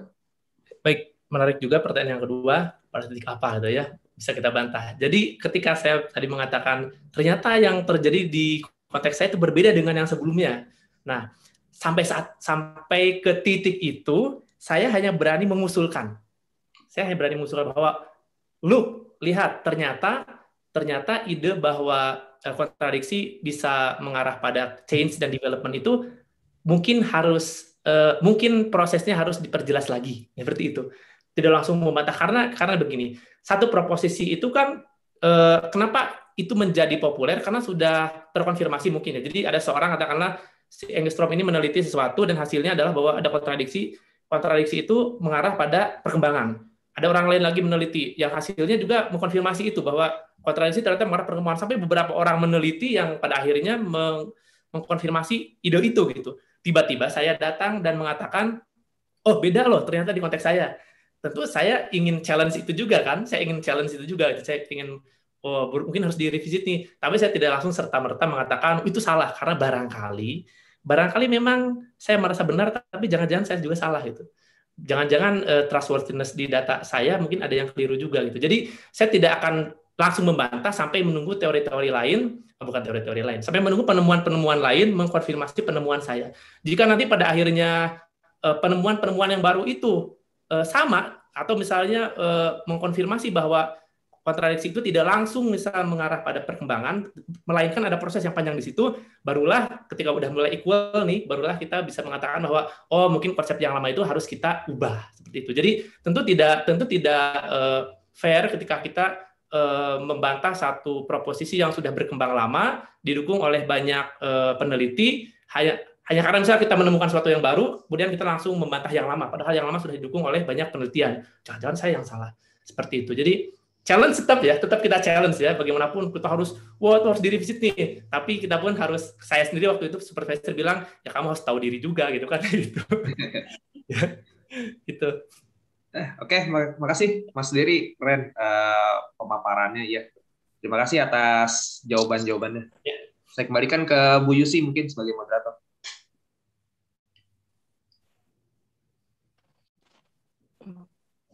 Ya, Bapak Ibu masih ada waktu sekitar uh, 12 menit lagi, 11 menit lagi. Silakan. Ada yang mau bertanya lagi?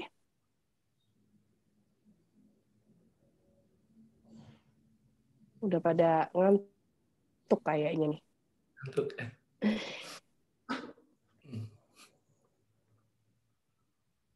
PPT materi uh, untuk teman-teman nanti PPT materi akan kami kirimkan sekaligus dengan link YouTube-nya.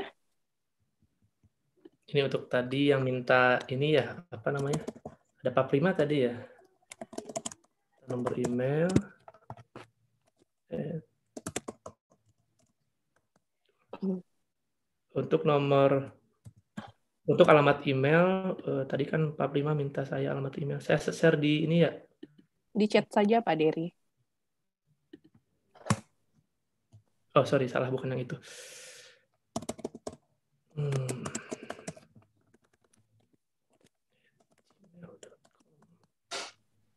Ini tidak ada lagi yang mau bertanya nih.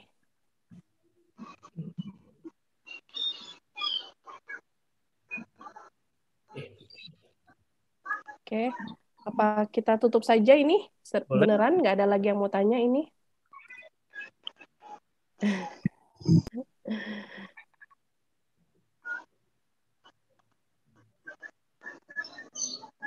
Ya, apa lagi? Ayo, masih ada waktu 10 menit lagi.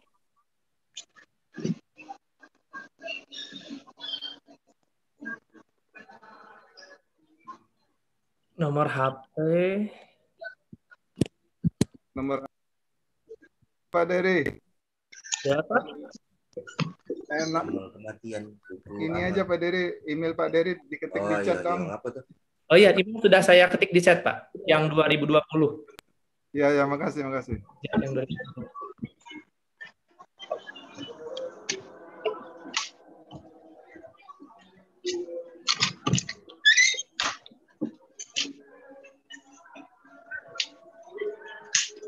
kasih Pak Dari. Kamu.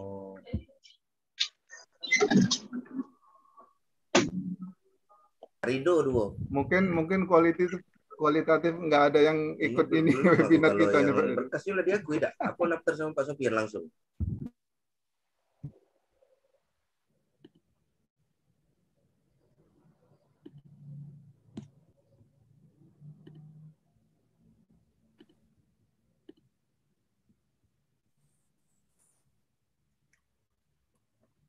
barangkali ada yang memerlukan filenya, sudah saya share juga di chat.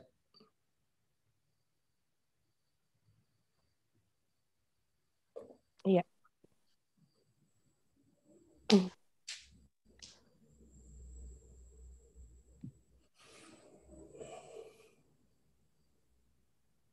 Pak Dery, ini sertifikat dari kami untuk Pak Dery Uh, nanti kami kirimkan uh, yang cetak dan yang digital ya Pak Dery. Ini yeah. untuk uh, sementara saya sampaikan di share screen.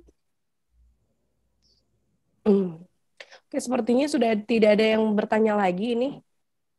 Sudah paham semua. Mudah-mudahan paham semua ya. Hmm. Oke, baik kita tutup saja. Bagaimana Pak Dery? Ada lagi ya. yang mau disampaikan? Ada statement yang mau disampaikan? Ya, saya ingin menyampaikan terima kasih saja untuk teman-teman semuanya. Semoga apa yang saya sampaikan bermanfaat dan barangkali ada yang ingin dikayang lebih lanjut, boleh menghubungi email tadi.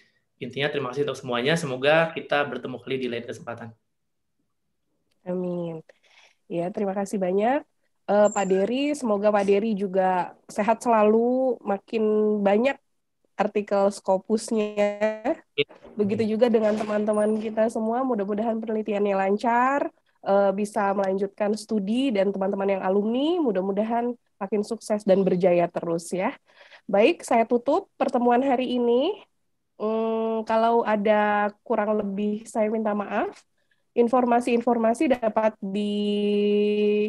dapatkan di link eh, uh, GAD bisa dengan saya Karisda maupun Mbak Lia atau Bu Ami silahkan ke pasca sarjana uh, nanti akan kami uh, sampaikan selengkapnya di sana demikian saya sampaikan bila taufiq wal hidayah assalamualaikum warahmatullahi wabarakatuh Waalaikumsalam. Warahmatullahi wabarakatuh. Saya izin ya. Ya, terima kasih ya Pak Diri. Sehat selalu. Mas Dery. Terima kasih Pak Dery ilmunya. Boleh silakan. Silakan live.